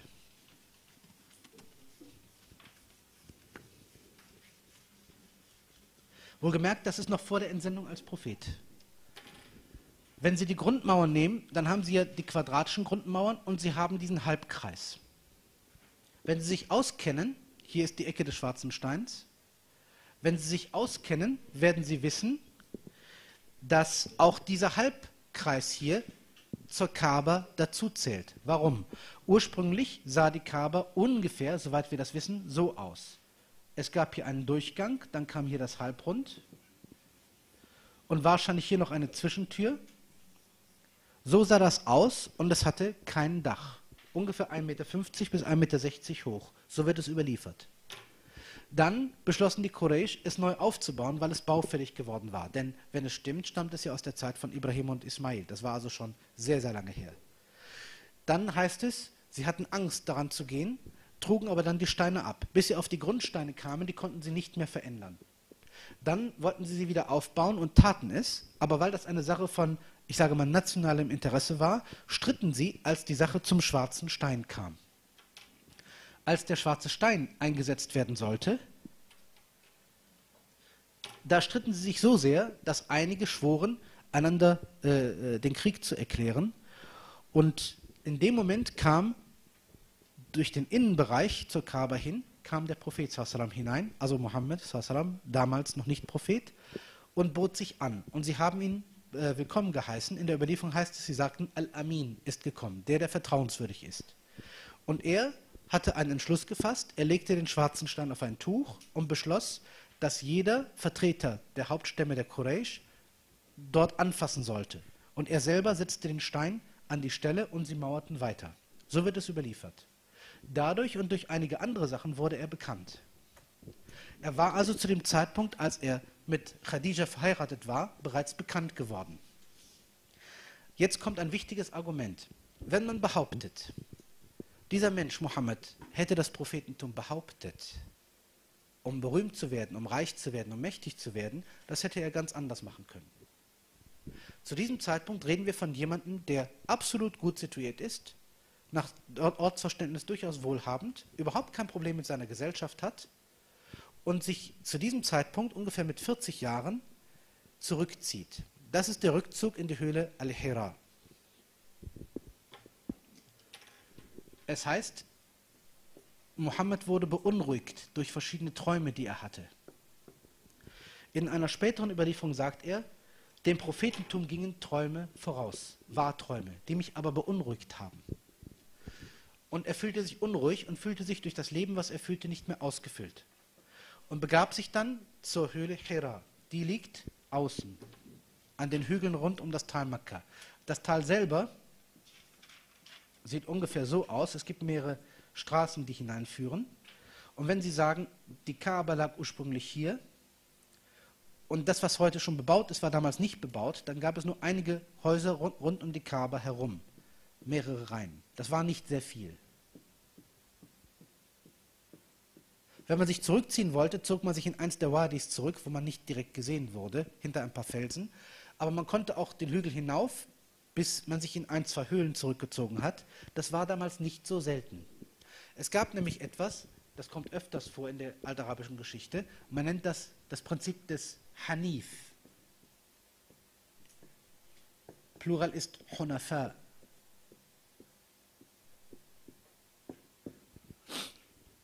Der Hanif ist jemand, der bewusst nicht Götter anbetet, und von einem einzigen Gott ausgeht, aber weder Jude noch Christ ist. Das ist ein ganz eigenes Prinzip. Moment, nicht, dass ich jetzt über die Zeit drüber gehe. Na, wir sind noch gut dabei. Und zwar, der Hanif war damals ein Element, weil die Gesellschaft der Quraysh eine Gesellschaft im Umbruch war. Man betete zwar noch die Götter an, war aber schon ein bisschen skeptisch. Man war mit dem Christentum in Kontakt gekommen, mit dem Judentum in Kontakt gekommen. Juden gab es in Khaybar und auch außerhalb, Christen in Hira im Irak und auch andere, mit denen man zu tun hatte. In Syrien kam man mit ihnen in Kontakt, in Abyssinien auch. Also es gab verschiedene Ideen. Es war eine Gesellschaft im Umbruch. In diesem Moment gab es auch sehr viele, die man als Hanif bezeichnet. Der Begriff wird im Koran mehrfach verwendet. Es ist ein kultureller Topos. Es heißt zum Beispiel, dass Ibrahim von sich selbst spricht und auch der Prophet wird so aufgefordert, Hanifam Muslima. Ich bin kein Mushrik, sondern ein Hanif, ein Muslim. Ein Hanif, einer, der sich rein auf den Gottesdienst zu einem Gott bezieht und ein Muslim, einer, der sich in den Willen Allahs ergibt, der sich hingibt. Das ist ein fester Begriff, ein kultureller Begriff. Also der Prophet zieht sich in die Höhle Hera zurück ungefähr im Alter von 40, sagt man. Und hier beginnt eben das, was wir als den Moment der Herabsendung betrachten. Hier wird der Mensch Mohammed, Sohn des Abdullah, zum Propheten Mohammed. Durch die erste Herabsendung der ersten Ayat. In Übereinstimmung sagt man, dies war der Beginn von der Sure, die beginnt mit Iqra bismi rabbika alladhi khalaq. Das ist bekannt. Allerdings in der Überlieferung heißt es, dass der Engel Gabriel erschien, allerdings in einer menschenähnlichen Gestalt. Und der Prophet berichtet selber, dass das Wesen vortrat und ihn mit einem Tuch wirkte. Dann sagte der Prophet, bis ich befürchtete, keine Luft mehr zu bekommen. Dann sagte er, Iqra. Hier ist wichtig, das heißt nicht unbedingt lies. Das Wort Qara'a ist ein kultureller Begriff. Es bedeutet etwas rezitieren. Wer rezitierte denn? Nur Stammesmagier, ein Kahin rezitierte. Ein Magier rezitierte. Ein Dichter rezitierte. Der Prophet sagte aber auch später, und das wird im Koran ja auch verbalisiert, ich gehörte zu keinen diesen Gruppen. Und der Begriff von Qira'a war sonst nicht bekannt. Wir reden von einem kulturellen Begriff. Also sagt der Prophet auch aus diesem Grund, Ma anabiqari, ich bin keiner, der rezitiert. Viele sagen in späterer Sicht, der Prophet war Analphabet, Ummi, konnte nicht lesen und schreiben. Aber das hat mit dem Begriff Qara'a nur bedingt etwas zu tun. Denn es wird in den frühen Überlieferungen nicht zwingend gesagt, dass etwas aufgeschrieben worden sei aufs Tuch. Haben Sie sich das mal überlegt? Wenn wir sagen lesen, müssen wir ja von einem schriftlichen Text ausgehen, den man ablesen soll, richtig? Aber in den Überlieferungen steht das gar nicht. Da steht nur, der Engel äh, kommt nach vorne und drückt ihn mit dem Tuch. Warum? Dieser Begriff von Qira'a und Qara'a war in altarabischer Zeit nicht zwingend mit einem Ablesen von Schriftlichem verknüpft, sondern ein Rezitieren, eine magische Formel, eine Machtformel, ein Gedicht. Das war Qira'a und Tilawa. Und deswegen sagt der Prophet, ich gehöre nicht dazu, ich kann das nicht. Das passierte dreimal. Und das heißt, als ich es nicht mehr aushielt, sagte ich denn, was soll ich denn überhaupt rezitieren? Und dann kommt die berühmte Aussage des Engels, Iqra bismi rabbika alladhi khalaq. Und das heißt, das wird übereinstimmend gesagt bis zur vierten Ayah, was dann später als diese Sure bekannt wird. Und das ist der Beginn der Herabsendung dass dem Propheten nicht klar ist, was er da hat und dass er völlig verunsichert wird, wird allgemein ausgedrückt. Es wird gesagt, er war schockiert. Er floh aus der Höhle und als er sich hinabbegab, sah er den Engel Gabriel in seiner wahren Gestalt. Es gibt nur einen einzigen Bericht, wonach der Prophet den Engel Gabriel in seiner wahren Gestalt sieht. Andere Engel, zum Beispiel auch den Engel des Todes, sieht der Prophet erst beim Mi'raj in seiner wahren Gestalt. Aber dazu müssen wir natürlich uns vorstellen, einen Engel in seiner wahrhaftigen Gestalt zu sehen, geht in der Regel über den Verstand eines Menschen. Wenn Sie sich vorstellen, hier würde ein Engel aus der Wand hervortreten, von mir aus in Menschengestalt. Das würden die meisten ja auch schon nicht verkraften. Aber es wird berichtet, der Engel Gabriel zeigte sich in seiner wahren Gestalt. Die Engel der großen äh, Engelgruppen, wie zum Beispiel der Engel Gabriel, haben einen Thron. Und sie haben tatsächlich Flügel. Es heißt in der Überlieferung bis zu 600. Die, die, Größe war so groß, dass er in der Entfernung von zwei Bogenmaßen, wie es im Koran heißt, Qaba Qausaini heißt es, das sind maximal 300 Meter, sichtbar ist. Stellen Sie sich vor, innerhalb von 300 Meter haben Sie ein Wesen, was vom Horizont bis zum Himmel reicht und Sie nehmen es wahrhaftig wahr, sehen, wie es sich bewegt und wenn Sie sich bewegen, bewegt es sich mit. Es ist real. Und Sie spüren, dass es real ist. Es ist kein Bild. Und das heißt, wo immerhin ich mich wandte, sah ich ihn vor mir. Dann wurde ich von Angst erfasst und begab mich in das Haus meiner Frau und sagte nur, Sammiluni, bedeckt mich. Das ist diese berühmte äh, Äußerung, die dann später in der Surah al-Muzammil verarbeitet wird. Und zu diesem Zeitpunkt weiß noch niemand, was dem Propheten widerfahren ist. Keiner kann damit etwas anfangen, denn niemals wurde ein Prophet zu den Arabern entsandt vor dem Propheten Mohammed. Sie hatten keine Erfahrung damit. Sie wussten mit diesem Phänomen nichts anzufangen. Hier wird dann gesagt, dass äh, Khadija sagt, es muss etwas Besonderes passiert sein, aber ich weiß es auch nicht. Sie sagte, ich weiß auch nicht, was passiert ist. Gehen wir zu, äh, gehen wir zu Waraka ibn Naufal. Das war eine Person, die man als Hanif bezeichnete. Es heißt, er hatte nur sehr weiche Knochen und konnte sich vom Bett nicht mehr erheben, war auch schon sehr alt, hatte aber in den Schriften der Juden und Christen, die er damals hatte, schon etwas studiert. Welche Form wissen wir heute nicht. Und er lässt sich beschreiben, was dem Propheten widerfahren ist und sagt, weil, wisst ihr nicht, wer das war? Das muss der Engel Gabriel gewesen sein. Und wenn das so ist, behüte ihn, denn es wird ihm sonst Übles von seinem Volk widerfahren. Wieder diese Warnung. Das ist in Kurzfassung das, was man dazu sagen kann. Zwei Dinge. Von Anfang an wird gesagt, der Koran wurde stückweise herabgesandt. Dies ist nur das erste Stück.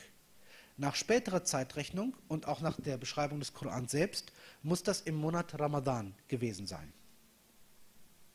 Denn es heißt, es wurde im Ramadan herabgesandt. Manche Gelehrte sagen, dass immer im Ramadan etwas herabgesandt wurde. Manche sagen, dass nur zu diesem Zeitpunkt etwas vollständig in den untersten Himmel herabgesandt wurde und dann nach und nach weitergegeben wurde. Aber Wallah alam, wir wissen es nicht genau.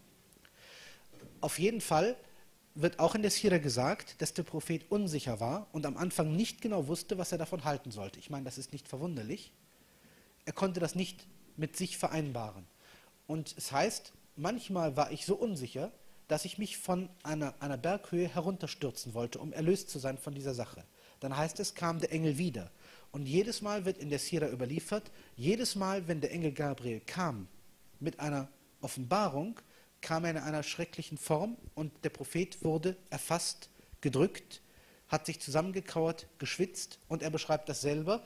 Immer wenn der Engel zu mir kommt, um eine Offenbarung zu bringen, fühle ich etwas wie ein Rauschen oder ein Klingen in meinem Ohr.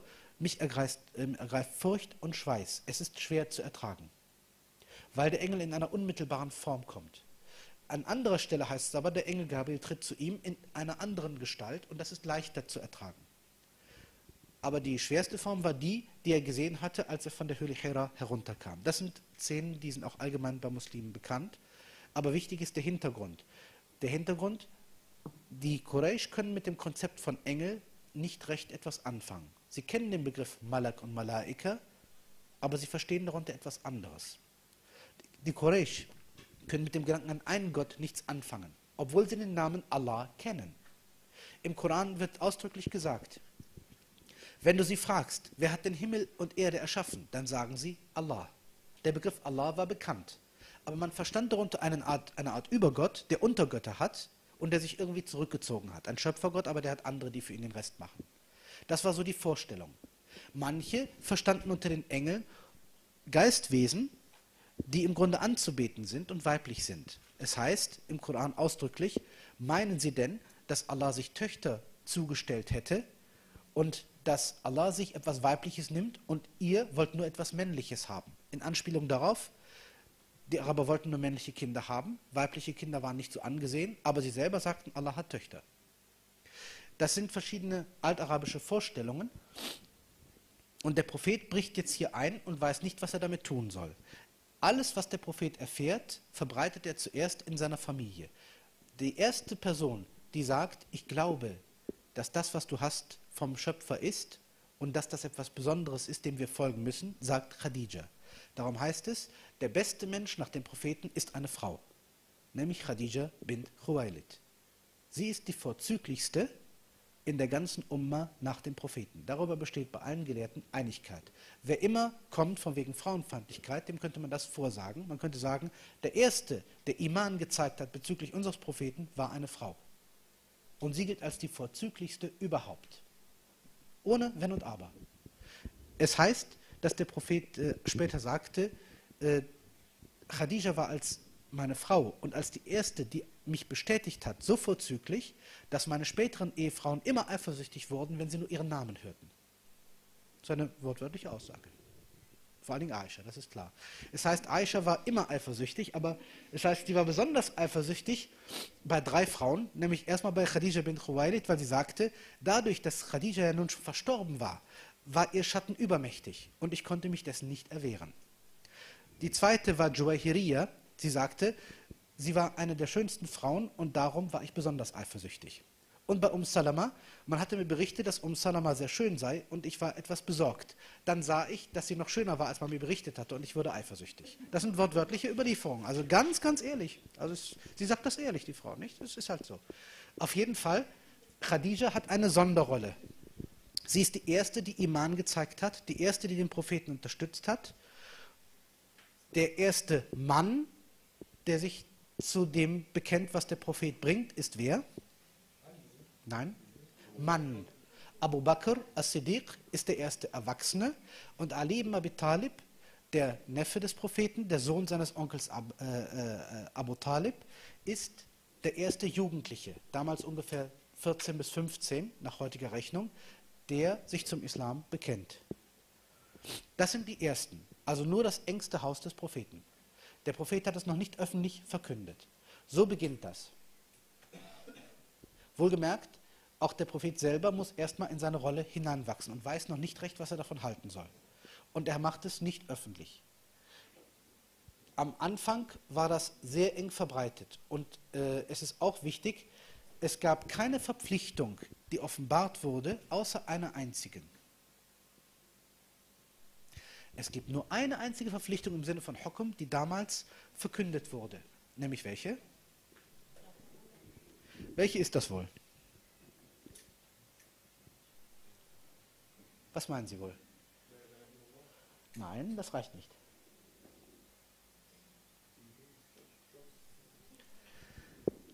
Und zwar das Gebet.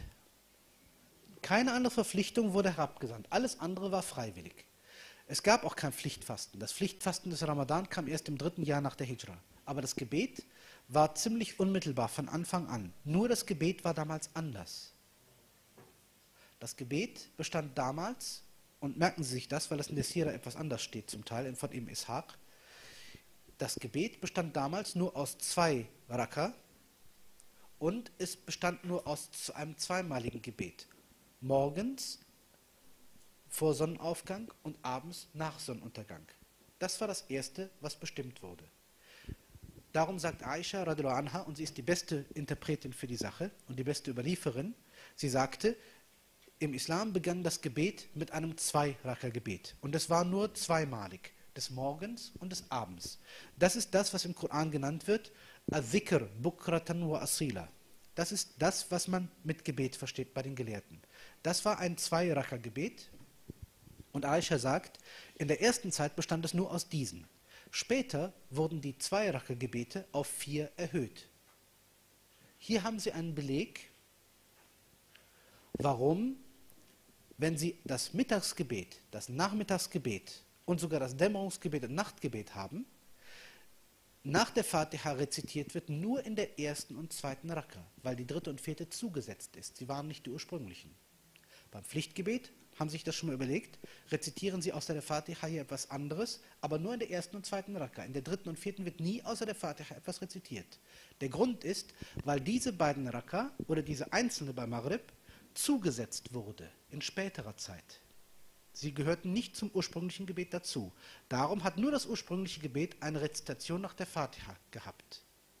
Bei den Sunna-Gebeten ist es aber anders. Alle Sunna-Gebete hatten ursprünglich auch nur die Form von zwei Raka. Wenn sie heute teilweise in vier Viererform sind, liegt das daran, dass der Prophet in der späteren Zeit von Medina dazu überging, zwei und zwei zu vier zusammenzufassen. Aber da war es so, dass ja die ersten zwei schon Vollrezitationen hatten und die anderen zwei auch. Daher gilt die Regel, wenn man vier oder mehr Raka Sunnah verrichtet, wird in jeder Raka rezitiert, außer der Fatiha, beim Pflichtgebet aber nur in der ersten und zweiten. Das ist der eigentliche Grund. Das ist das Schöne, wissen Sie, wenn Sie sich auskennen, Sie finden einen Grund für das, was Sie tun. Sie tun nicht etwas und wissen nicht warum. Nur in der ersten und zweiten Raka wird rezitiert beim Pflichtbereich, weil Aisha deutlich überliefert, nur da. Das waren die ursprünglichen Einheiten des Gebets im Islam. Alles spätere kam später hinzu. Und sie sagt, aber auf der Reise verblieb das Gebet in der Form, wie es ursprünglich offenbart wurde. Und das sind wirklich Hintergründe, wenn man sie hat, man versteht vieles besser. Man hat ein besseres Verständnis von der Sache. Jedenfalls, das Morgengebet verrichtete man üblicherweise zu Hause. Das war kein Problem. Ein Problem war aber das Dämmerungsgebet. Warum? Wie läuft denn der Tagesablauf ab? Überlegen Sie es mal praktisch. Wir reden über Menschen. Wir reden nicht über Bücher. In dieser Weltregion, wann arbeiten Sie? Sie stehen morgens auf, bevor die Sonne wirklich sich erhebt, gehen Sie raus und machen Ihre Tagesgeschäfte. Dann ist die Mittagszeit, da tun sie schnell, dass sie in den Schatten kommen. Da sehen sie nämlich nichts mehr. Sie sind geblendet von der Sonne und werden gebacken von oben bis unten. Da werden sie schauen, dass sie schnell in einen Schatten kommen. Am Nachmittag, wenn die Sonne nicht mehr ganz so hoch steht, gehen sie zum zweiten Mal raus. Das ist die zweite Arbeitstätigkeit und bleiben draußen, bis die Dämmerung eintrifft. Aber viele werden von der Dämmerung draußen überrascht. Darum heißt es, typischerweise, wenn das Maghrib-Gebet angesagt war, befand sich der Prophet nicht immer in seinem Haus, war also gezwungen, es irgendwo draußen zu verrichten. Das sind die Überlieferungen, wo es heißt, er zog sich mit Ali an einem Ort zurück, wo man ihn nicht so gut gesehen hat. Zum Beispiel heißt es in einer Überlieferung, einmal wurden sie von der Dämmerung überrascht und mussten das Gebet verrichten. Dann zogen sie sich in eins der Wadis zurück, was also etwas von den Häusereien entfernt war, in Makkah. Er zog sich mit Ali zurück, aber Abbas folgte ihnen, weil er Ali gesehen hatte. Dann sah Abbas, wie der Prophet und Ali sich verbeugten im Gebet. Und danach fragte Abbas, ganz treuherzig, sag mal, was ist das eigentlich für eine komische Art der Anbetung, wo der Hintern sich höher erhebt als der Kopf? Er war offen, er hat das so gefragt. Und dann meinte der Prophet, das ist das, was mir der Schöpfer offenbart hat. Und dann meinte Abbas, gut, sagte er zu Ali, ich denke, das ist gut, bleib ruhig dabei. Nicht mehr, nicht weniger. Das war halt Abbas, ganz offen. Und äh, das fiel halt auf. Deswegen im Laufe der Zeit heißt es, erfuhren immer mehr Leute, dass der Prophet etwas tat, was nicht in ihr Schema passte. Der Islam fing an, sich zu verbreiten, aber noch hat der Prophet das nicht deutlich gemacht. Bis hin zu dem Punkt, wo es immer mehr Leute gab, die am Islam Interesse hatten und es eigentlich kein Haus in Mekka gab, wo man nicht davon sprach, weil es eine neue Idee war. Hier begannen die Oberhäupter der Quraysh aufmerksam zu werden. Hier möchte ich einen Einschnitt machen. Bis hierhin Fragen. Sonst spreche ich nur, das ist nicht gut, dann schlafen Sie gleich ein. Liegt einfach an der Tatsache, wenn einer nur spricht, dann schlafen die anderen ein. Das geht nicht. Was meinen Sie? Keine Frage zum Komplex. Doch, bestimmt. Ja, also Nummer eins, zwei, drei. Bitteschön. ja, dahinter. Bitteschön.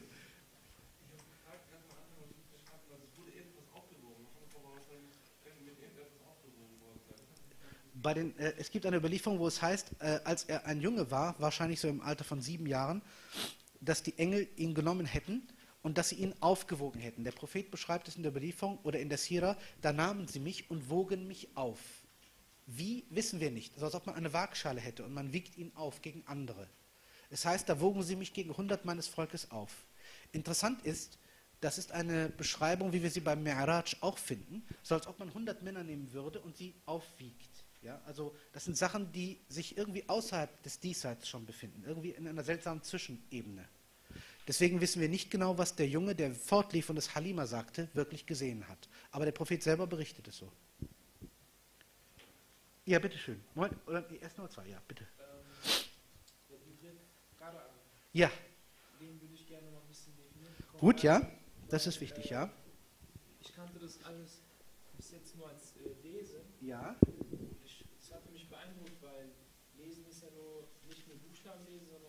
sehendes Lesen, hörendes Lesen. Und wer liest, der kann ja zu Allah Ta'ala finden. Das war sozusagen Auch. beeindruckend. Das ist der erste Befehl, dies. Und das ist eigentlich alles, was man braucht, um Ta'ala zu finden. Ja? Ja, aber also ja, also es gibt äh, den Begriff von Qira'a. Das kommt von dem Verb Qara'a. Und es gibt den Begriff von Tilawa. Das kommt von Tala Yatlu. Es ist so, in der altarabischen Zeit war das Schreiben und auch das Lesen von Buchstaben eine nicht häufige Kunst. Der Begriff von Qara'a oder Qira'a kann zweierlei bedeuten. Entweder etwas abzulesen, das ist möglich. Die zweite Möglichkeit, etwas zu rezitieren. Deswegen sagen wir auch zum Beispiel Qira'atul Quran ist entweder das Ablesen aus dem Mushaf oder es ist Tilawa. Diese Doppeldeutigkeit des Begriffes Qira'a hat sich bis heute im Arabischen erhalten, beim Koran. Wenn ich sage, Huwa Qara al-Quran, dann heißt es nicht unbedingt, er hat ihn nur abgelesen. Es kann auch heißen, er rezitiert ihn aus dem Gedächtnis. Darum heißt der Qari, der Koran-Rezitator, der, der den Koran vorträgt. Man sagt Qurra al-Quran. Das sind die, die den Koran eigentlich nicht lesen. Das ist eine typisch arabische Fehlübersetzung von, von Hilfsübersetzern. Es heißt, die den Koran rezitieren. Es ist ein Doppelbegriff. Qara'a kann bedeuten, ich rezitiere aus dem Gedächtnis, ohne etwas Schriftliches vor mir, oder ich lese etwas Schriftliches ab. Es kann beides sein. Aber in alter Zeit war das ein kultureller Begriff und bedeutete, dass jemand etwas rezitiert, was eine Machtformel, eine magische Formel ist. Vielleicht auch eine Zauberformel, eine Heilungsformel, eine besondere Rezitationstechnik, wie beim, wie beim Dichter. Es ist nicht von ungefähr, weil es hier einige Dinge gibt, die Sie noch wissen müssen. Das passt jetzt in den Zusammenhang. Im Koran wird wiedergegeben, wie der Prophet durch Weisung Allahs sich gegen Vorwürfe zu schützen hat. Man wirft dem Propheten jetzt mehrere Dinge vor. Man sagt, du bist ein Sha'ir, ein Dichter. Man sagt, du bist ein Kahin. Es heißt, wama huwa bikahin. Wama huwa bisha'ir. Er ist aber kein Kahin und kein Sha'ir. Und dann heißt es, er ist ein Majnun. Er ist ein Besessener. Majnun ist eigentlich jemand, der von Djinn besessen ist, von Geistwesen besessen, besessen ist, der Majnun. Sie sollten wissen, dass man in der altarabischen Zeit, wie übrigens bis in die klassische Zeit, verschiedene Arten von Sprache unterscheidet. Und sie gehören zu diesen Prinzipien. Und zwar unterscheidet man nach folgenden Formen. Im Arabischen sagt man, es gibt die freie Rede, das ist Nasr. Nasr. Sie könnten sagen freie Rede.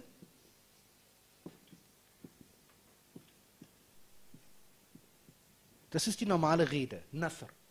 Nasara bedeutet zerstreuen, ausstreuen. So als ob ich einen Haufen Körner nehme und sie ausstreue. Da ist keine Ordnung dabei. Die normale Rede. Und dann gibt es Nazm, wörtlich das Geordnete. Nazm. Das ist die gebundene Rede, die Dichtung. Die gebundene Rede, das ist die Dichtung. So, und dann gibt es etwas Spezielles. Der Koran ist weder eine Dichtung, er ist nicht Nazm, noch ist er eine freie Rede. Warum? Das Charakteristische der altarabischen Dichtung ist, sie haben zwei Dinge. Sie haben ein Versmaß, das Wazn, und sie haben den Endreim Qafiyah. Die freie Rede hat weder das eine noch das andere. Ein Gedicht folgt in der klassischen Technik im Arabischen einem Maß. Die Silben werden eingeschränkt, die Längen werden genau definiert. Das nennt man Wazn, das Gewicht, das Maß. Und sie haben Qafiyah, den Endreim. Der Koran hat kein Wazn, aber er hat Qafiyah. Halima, Kabira, Azima, das ist ein Endreim. Deswegen sagt man, das ist eine Sonderform. Man nennt sie Sajja.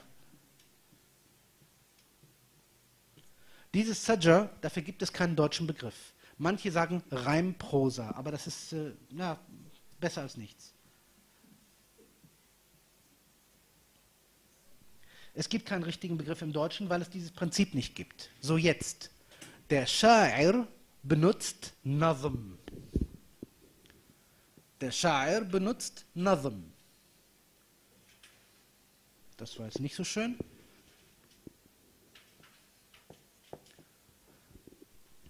Darum sagt der Prophet deutlich, Ma ana bisha'ir. Ich bin kein Dichter. Wie kommt ihr denn darauf? Ich benutze ja kein Nazm.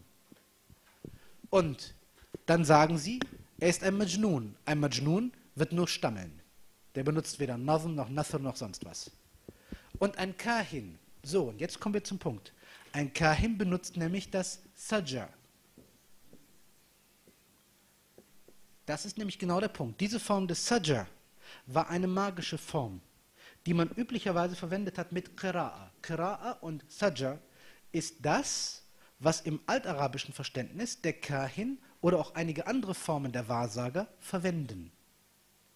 Darum sagten die Quraysh, die waren ja nicht dumm, die Quraysh, sie haben gesagt, wir versuchen das zu verstehen, was du uns da bringst. Du bist also offensichtlich ein Kahin. Und der Prophet und Allah sagen, nein.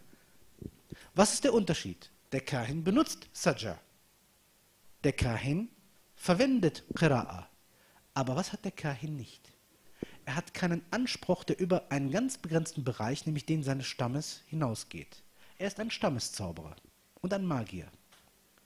Der Koran jedoch ist von vornherein bestimmt für die Menschen insgesamt. Und der Koran hat eine Art des Aufbaus, die nichts mit einem Stammesdenken zu tun hat. Fern davon. Daher sagt Allah, sprich, ma anabikahin, ich bin kein Kahin. Ich interessiere mich nicht für eure Götter. Ich interessiere mich nicht für eine Stammesbezogenheit. Ich bin gesandt als Rahmatun lil Alamin. Barmherzigkeit für die Menschheit insgesamt. Also, wenn ich auch Sajja benutze, es ist nicht dasselbe. Es sind verschiedene Aspekte.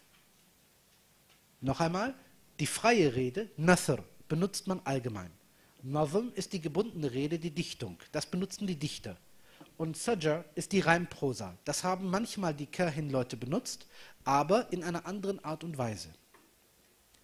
Allah benutzt also das Sajja, um auf etwas Heiliges hinzudeuten. Denn damals war das Sajja eine besondere Form der Würdigung, wie die Araber es verstanden haben. Denn der Koran ist zuerst zu den Arabern gesandt. Denn die sollten es ja verstehen können.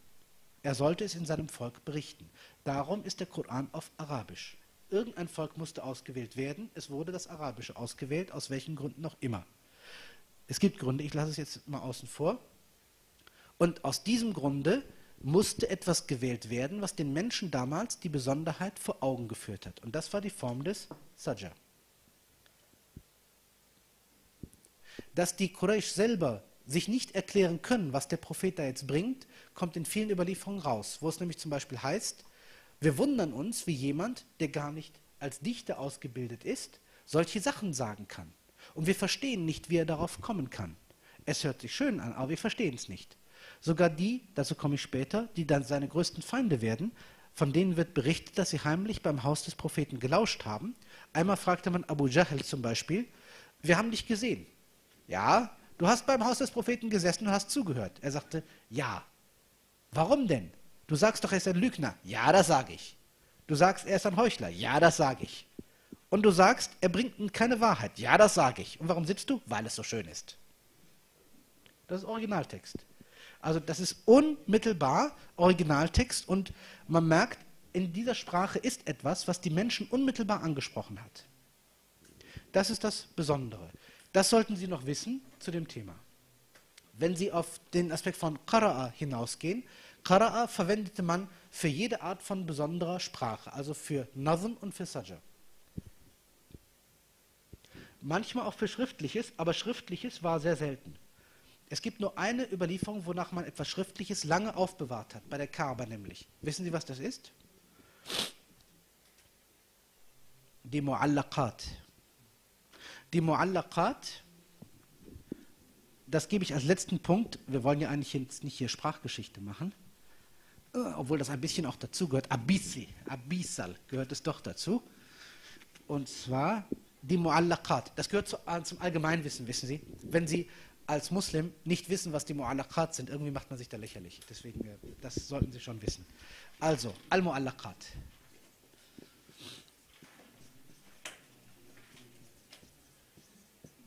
Die heißen so,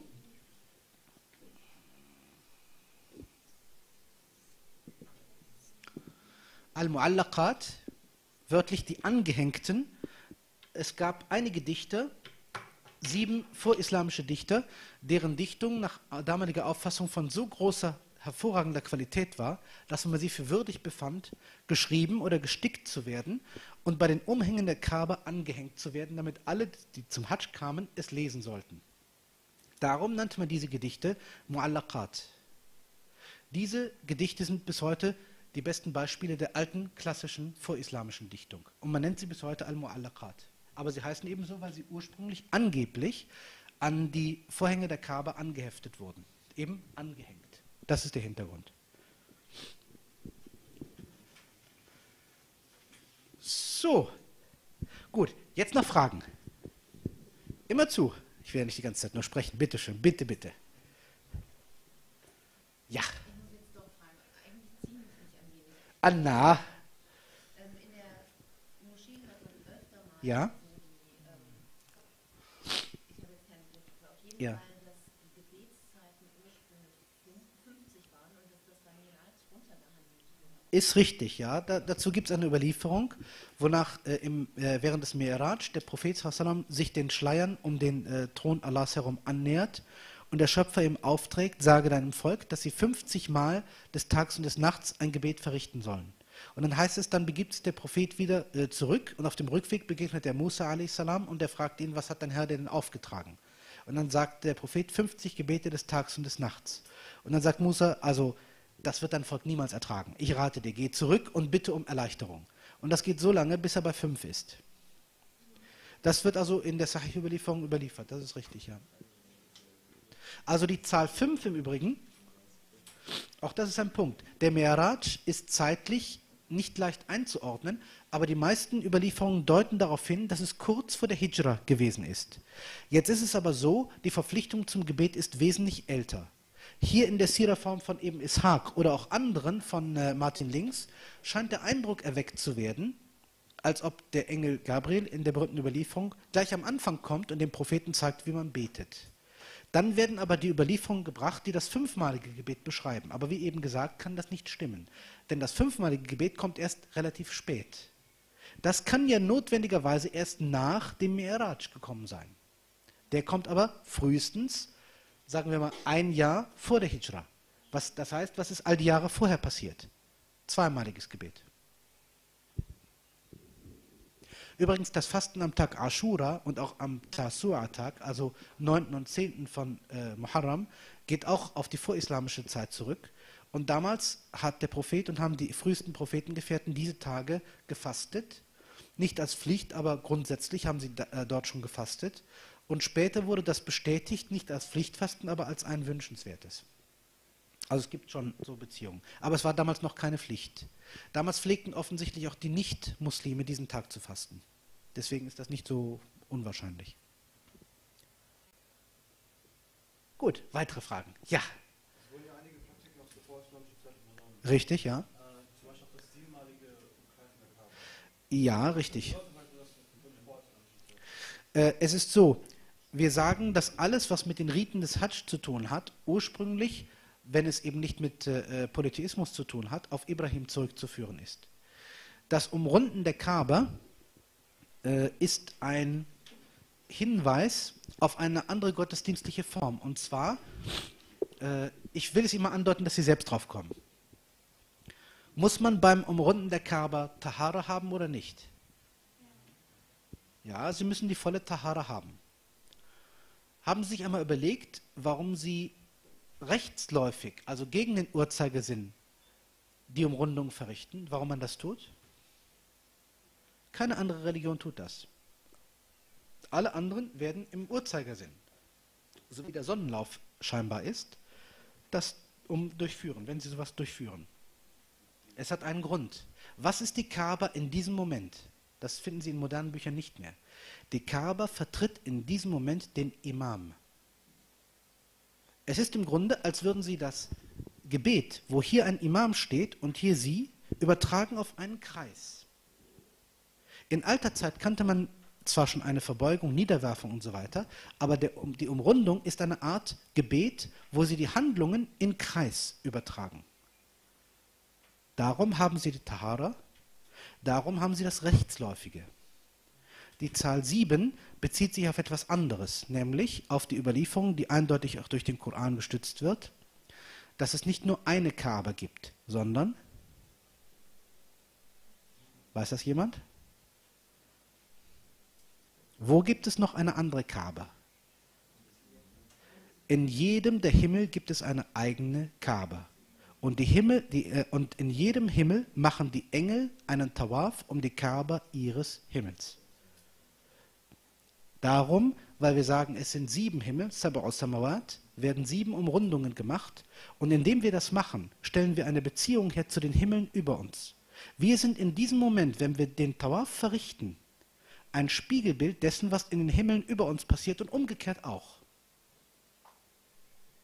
Denn die Engel machen Tawaf um die Kaaba ihres Himmels, so wie die Menschen auf der Erde Tawaf um die Kaaba des Diesseits machen. Es ist ein Spiegelbild, mehrfach. Jede Zahl hat eine Bedeutung beim Hajj. Jeder, jede Form hat eine Bedeutung. Wenn man das mit Bedeutung füllen könnte, würde man den Hajj ganz anders machen können. Sonst sagt man, ich habe da ein Steinhaus und weiß nicht, was ich da soll. Wenn mir aber bewusst ist, was ich da tue, mache ich den Hajj anders. Rechtsläufig, wenn man, ich mache das nochmal zeichnerisch, wenn wir die Kaaba betrachten, ja, es gibt zu der Kaaba so und so einige Besonderheiten. So, sagen wir, hier haben wir die Ecke des schwarzen Steins, wo man den Tawaf hier äh, beginnt. Hier ist die Tür. So, wenn ich jetzt das betrachte, ich beginne den Tawaf immer hier. Was vor der grundsätzlichen Ausrichtung vom schwarzen Stein ist, wird nicht als, als äh, Schaut, also als Umrundung gezählt. Hier umrunde ich die Kaaba, wobei ich, wohlgemerkt, wie vorhin gesagt, um den Hatim, die Umrundung, herumgehen muss hier ist die erste Umrundung vorbei. So, das bedeutet jetzt, wenn ich hier rumgehe, es ist so, als wäre ich im Zwei-Raka-Gebet. Hier ist der Imam und hier bin ich. Sehen Sie? Hier ist die Qibla. Nur, die Kaaba ist Zentrum unserer Qibla. Also können wir nicht dauernd ausgerichtet sein. Das ist der Pol. Es ist, als wäre der Imam hier direkt auf dem Punkt der Qibla und also ist es nur logisch, dass wir uns so drehen. Das ist alles, ich meine, wenn man das einmal so im Hintergrund hat und die Überlieferung, die es Sahih dazu gibt, dazu nimmt, das ist also jetzt keine Erfindung, sondern es wird ausdrücklich gesagt, dann gewinnt das Ganze eine Logik. Verstehen Sie? Es wird auf einmal eine nachvollziehbare Sache. Es ist nicht irgendein komischer Ritus, den man sich irgendwo ausgedacht hat, sondern es entspricht dem, was wir machen. Es wird eine logische Sache. Und das ist das Besondere. Wie können Sie wirklich überzeugt sein, wenn Sie nicht die Hintergründe aus den Hadithen und der Logik zusammen haben? Hier passt beides zusammen. Es heißt in der Überlieferung, die Kaaba ist die, der Imam der Muslime, wenn sie den Tawaf machen. Und das passt auch in der Überlieferung. Das passt völlig überein. Des Weiteren wird gesagt in der Überlieferung, in der Sahih-Überlieferung, jeder Himmel hat eine Kaaba. Wird gestützt durch die Aussagen des Korans, dass äh, zum Beispiel der Ort, wo der siebte Himmel beginnt. Die Kaaba dort heißt Al-Baytul Ma'mur. Der Name der Kaaba des siebten Himmels ist bekannt, das ist Al-Baytul Ma'mur. Der Name der Kaaba der Erde ist Al-Baytul Atiq. Und der Name des, der Kaaba des untersten Himmels, wo also die Ebene der Himmel beginnt, ist äh, äh Baytul Izza. Denn in der Überlieferung heißt es, als Jibril den Koran herabbringt, so legt er die Offenbarung bei Betul Izza nieder. Ich schreibe die drei Namen nochmal auf. Das sind die Namen, die wir kennen. Leider kennen wir die Namen der anderen Kabas nicht. Aber diese drei sind bekannt.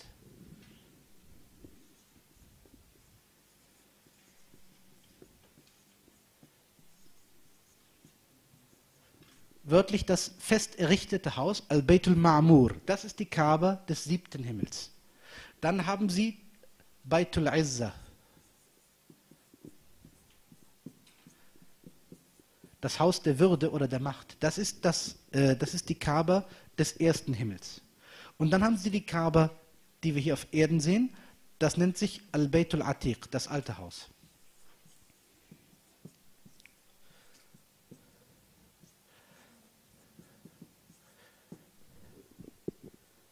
Die drei Namen sind bekannt. Beitul Izzat durch die Überlieferung und Al-Bayt al-Atiq und Al-Bayt al-Ma'mur durch den Koran selber. Genau.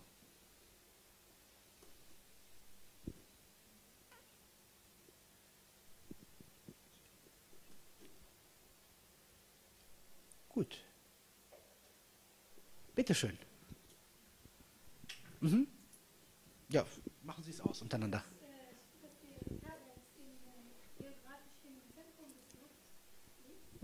es ist schwierig, wie man bei einer Kugel ein geografisches Zentrum ausmachen sollte. Ähm, es gibt zwar verschiedene Theorien dazu, also Stichwort Ansammlung von Masse und so weiter. Ich sag mal, das mag sein, aber das berührt mich eigentlich relativ wenig. Also es gibt keinen echten Beweis dazu. Mag sein, kann sein, aber ich wüsste nicht, wie man sich das ausgerechnet hat. Mag sein, aber der Logik nach eigentlich nicht. Denn ich meine, Kugel ist Kugel. Das Zentrum kann nur das Innere sein auf der Außenfläche einer Kugel kann ich ja kaum ein Zentrum ausmachen. Das möchte man gern. Das sind so die pseudowissenschaftlichen Sachen. Aber es gibt einige Untersuchungen, die sagen, dass geologisch einige der ältesten äh, Erdschichten da sind. Das mag sein. Das kann sein. Warum nicht? Aber ich denke mal, das beeindruckt mich in meinem Iman nicht. Das fügt mir weder etwas zu, noch ist es etwas anderes.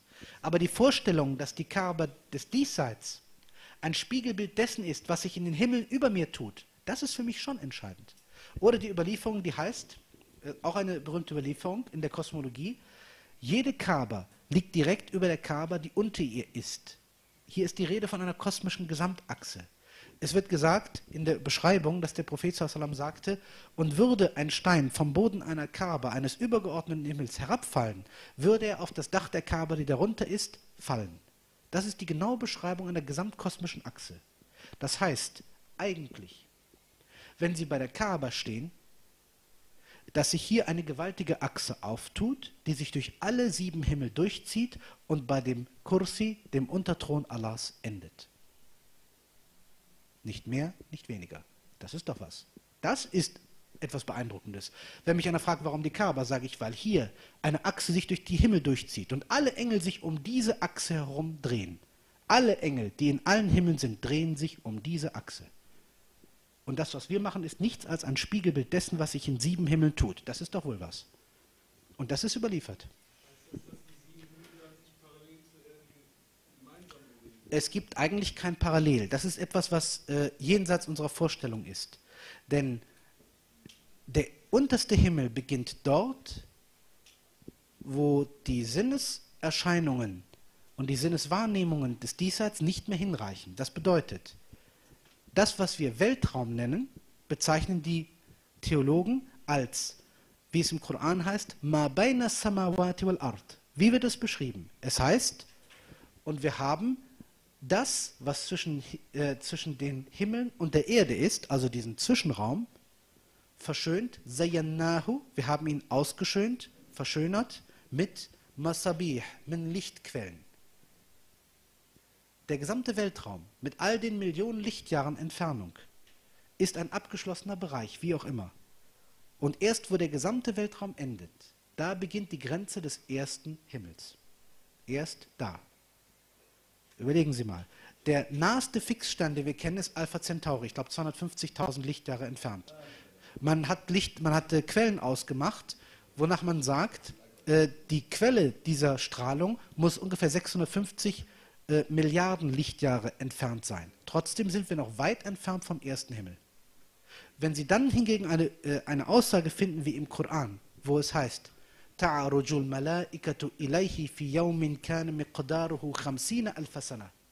Die Engel streben empor zum Thron in einem Zeitraum von 50.000 Jahren. Nur. Wenn Sie fragen, was sind das für Jahre, heißt es in einer anderen, Are, äh, anderen Ayah, Alfu sanatin mimma ta'udun. Tausend Jahre in dem Maße, wie ihr rechnet. Es sind 50.000 Jahre. Überlegen Sie mal, wie wenig das ist im Vergleich. Deswegen Das sind alles Dinge, die eigentlich zu Ilm al-Awalim gehören. Das ist die alte Kosmologie. Das wird aber seit ungefähr 250 Jahren nicht mehr verbreitet. Seit ungefähr 250.000 Jahren gibt es Dinge, die, äh, obwohl genauso gut überliefert und bestätigt wie andere Bereiche des islamischen Wissens, nicht mehr so verbreitet werden. Warum? Weil sie für das tägliche Leben vielleicht nicht unmittelbar Bedeutung haben. Aber sie sind eine Erklärung für das, was wir machen. Aber äh, die meisten Leute interessieren sich dafür nicht mehr. Es ist auch ein bisschen schwierig und vor allen Dingen, es erfordert ein großes Umdenken. Denn stellen Sie sich vor, Sie müssten umändern, was Sie bisher denken. Was, wenn Sie das, wenn Sie sagen müssten, das, was ich vorher für festhielt, ist auf einmal nicht mehr fest. Meine Definition von Seele und Körper wird auf einmal durcheinander kommen. Die Frage, was ist Engel, wird viel gewaltiger. Also das sind Dinge, die können Sie bestätigen, aber wenn Sie sich nicht gut auskennen oder schwach sind im Iman, kann es Sie ableiten. Darum haben viele Gelehrte gesagt, das sollten wir nur jemandem erklären, der fest und gefestigt ist. Aber grundsätzlich gibt es sehr viel dazu, sehr, sehr viel. Und das ist etwas, was man auf jeden Fall gebrauchen kann. Das Wissen, die Kaaba ist nicht irgendein dummes Stück aus Stein, sondern es ist der Punkt einer kosmischen Achse. Das ist eindeutig überliefert. Im Koran ist der Name genannt. Also der Koran selber ist Beleg dafür. Nicht? Also das ist nicht äh, eine Erfindung oder so etwas, das ist Realität. Und wenn man sich die Gewaltigkeit dieser Realität klar macht, kann man die Kaaba wertschätzen.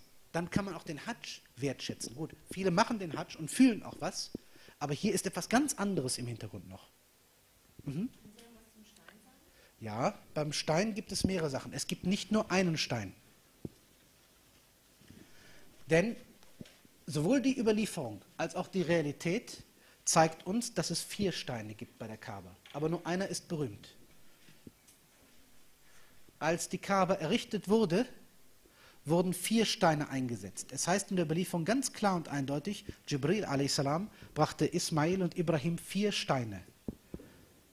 Drei waren von Bergen des Diesseits. Manche sagen vom Judi, manche sagen von anderen. Die wurden in die Ecken der Kaaba eingesetzt. Ich sage gleich noch was dazu, was man bis heute bei den Steinen sehen kann. Auch wenn man heute nicht nah genug rankommt, um alles sehen zu können, weil die Wächter einen da weghauen. Ist halt so. Aber der schwarze Stein hier hat eine besondere Geschichte. Nach den meisten Überlieferungen war dies ein Stein, den Jibril aus dem Paradies gebracht hat. Nach den Überlieferungen war dieser Stein ursprünglich weiß, soll aber auf der Erde langsam schwarz geworden sein. Wallahu Adam, ob es stimmt. Dieser Stein wurde nur dreimal, soweit ich weiß, herausgelöst. Einmal bei dem Neubau der Kaaba. Das muss dann im 6. Jahrhundert gewesen sein. Das zweite Mal wurde dieser Stein gestohlen. Das war im 9. oder Anfang des 10. Jahrhunderts. Es gab damals eine Sekte, die Karamiter. Sie überfielen während der Hadsch-Periode Makka, töteten alle, die Hadsch machten und haben die Kaaba halb zerstört und haben den schwarzen Stein mitgenommen nach Bahrain, wo sie ihren Sitz hatten. Das war eine spezielle Sekte. Sie behielten diesen Stein, ich glaube 20 oder 30 oder 40 Jahre, bis dieser Stein vom abbasidischen Kalifen wieder zurückgeholt wurde. Das dritte Mal wurde dieser Stein entfernt durch eine äh, Restaurierung, ich glaube, das war in der Zeit um 1600, weil ein Großbrand ungefähr um 1620, 1650 äh, einen großen Teil des Haram zerstört hat in der osmanischen Zeit. Und man musste damals große Restaurationsbauten äh, wieder vornehmen, um den Haram zu erneuern. Der Stein soll während des Feuers in drei Stücke zersprungen sein. Darum ist der Stein damals durch ein Silbergitter eingefasst worden, durch ein Silberdrahtgitter. Und darum ist er heute auch durch einen Silberrahmen eingesetzt, damit er überhaupt noch Festigkeit hat. Vorne ist er noch relativ glatt, aber hinten ist er in drei Stücke zersprungen. Das sind die drei Male, von denen ich weiß. Die anderen Steine sind erhalten. Es gibt zum Beispiel verschiedene Sunnan, die man heute gar nicht beachtet. Es gibt zum Beispiel eine Sunna, ja, gut, man kann es oft nicht wegen der Masse. Äh, zum Beispiel hier in der jemenitischen Ecke und auch hier gibt es verschiedene Steine. Und es gibt Sunnan, ich habe sie selber noch gelesen in alten Werken, wo es heißt, hier pflegte man früher an der Ecke entlang zu streichen. Genauso wie es eigentlich der Sunna entspricht, wenn man kann, wenn man kann heute, den schwarzen Stein zu berühren oder zu küssen oder zumindest zu berühren, tat man das früher ohne Küssen, aber mit Berühren bei den anderen Ecken. Da gibt es auch besondere Duas dafür. Aber diese Sunna hat sich mittlerweile ähm, aufgelöst, wahrscheinlich weil man schon beim schwarzen Stein nicht mehr weiterkommt, beim Hatsch nicht. Aber ursprünglich lautet die Sunna so: Jeder Stein hat sein eigenes Dua. Und in der Überlieferung wird es deutlich gesagt, vier Steine aus den Ecken der Welt, wenn Sie so wollen, brachte Jibril, damit sie in die Kaaba eingebaut würden, zum Zeichen, die Kaaba ist ein Symbol der Welt insgesamt. Darum wurden nicht nur die Ortssteine, sondern vier Steine verwendet. Ein Stein zur Verbindung, weil es die himmlische Achse ist, der Stein aus dem Paradies. Und drei Steine von der Erde. Das war der Hintergrund. Das hat einen sehr starken kosmologischen Charakter. Mhm. Also, also es gibt eine, eine, Studie, also ein Ingenieur in Ägypten hatte sich damit mit dieser Eier befasst. Äh, ja. Besonders um Raum und und mit der Technik, also damit wir haben nicht als Ware, hier um und und was um Mekka. Und was darum herum liegt, ja. Genau. Und ähm, die, die, die äh, manche Orientalisten haben dann äh, die Kritik ausgeübt, dass das, äh, Islam ist keine globale Religion, wenn sich einfach im Weltraum was um ja. die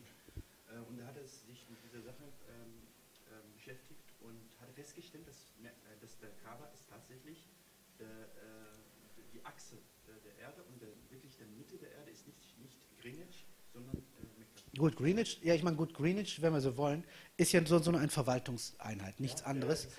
Äh, wenn, wenn man jetzt geologisch sieht, ich meine, das war, ich habe davon schon mal gehört, das war eine geologische Untersuchung. Das kann man natürlich so sehen, aber äh, gut, das ist vielleicht eine Bestätigung mehr, aber letztendlich ist das für mich nicht so entscheidend. Für mich ist entscheidend, dass der Schöpfer durch Ismail Ibrahim diesen Ort ausgewählt hat, dass dieser Ort eine Besonderheit hat und das reicht ja dann eigentlich. Okay, bis dahin, ich schaue mal, wie wir mit der Zeit sind, nicht, dass wir jetzt äh, die Zeit überschreiten. Ähm, wir sind jetzt eigentlich soweit. Ich würde so vorschlagen, wir lassen die Mittagszeit ein bisschen länger. Wir machen die Mittagszeit, wir sind jetzt auch schon ein bisschen drüber, bis, sagen wir, Viertel nach zwei, also bis 14.15 Uhr, sagen wir 14.20 Uhr.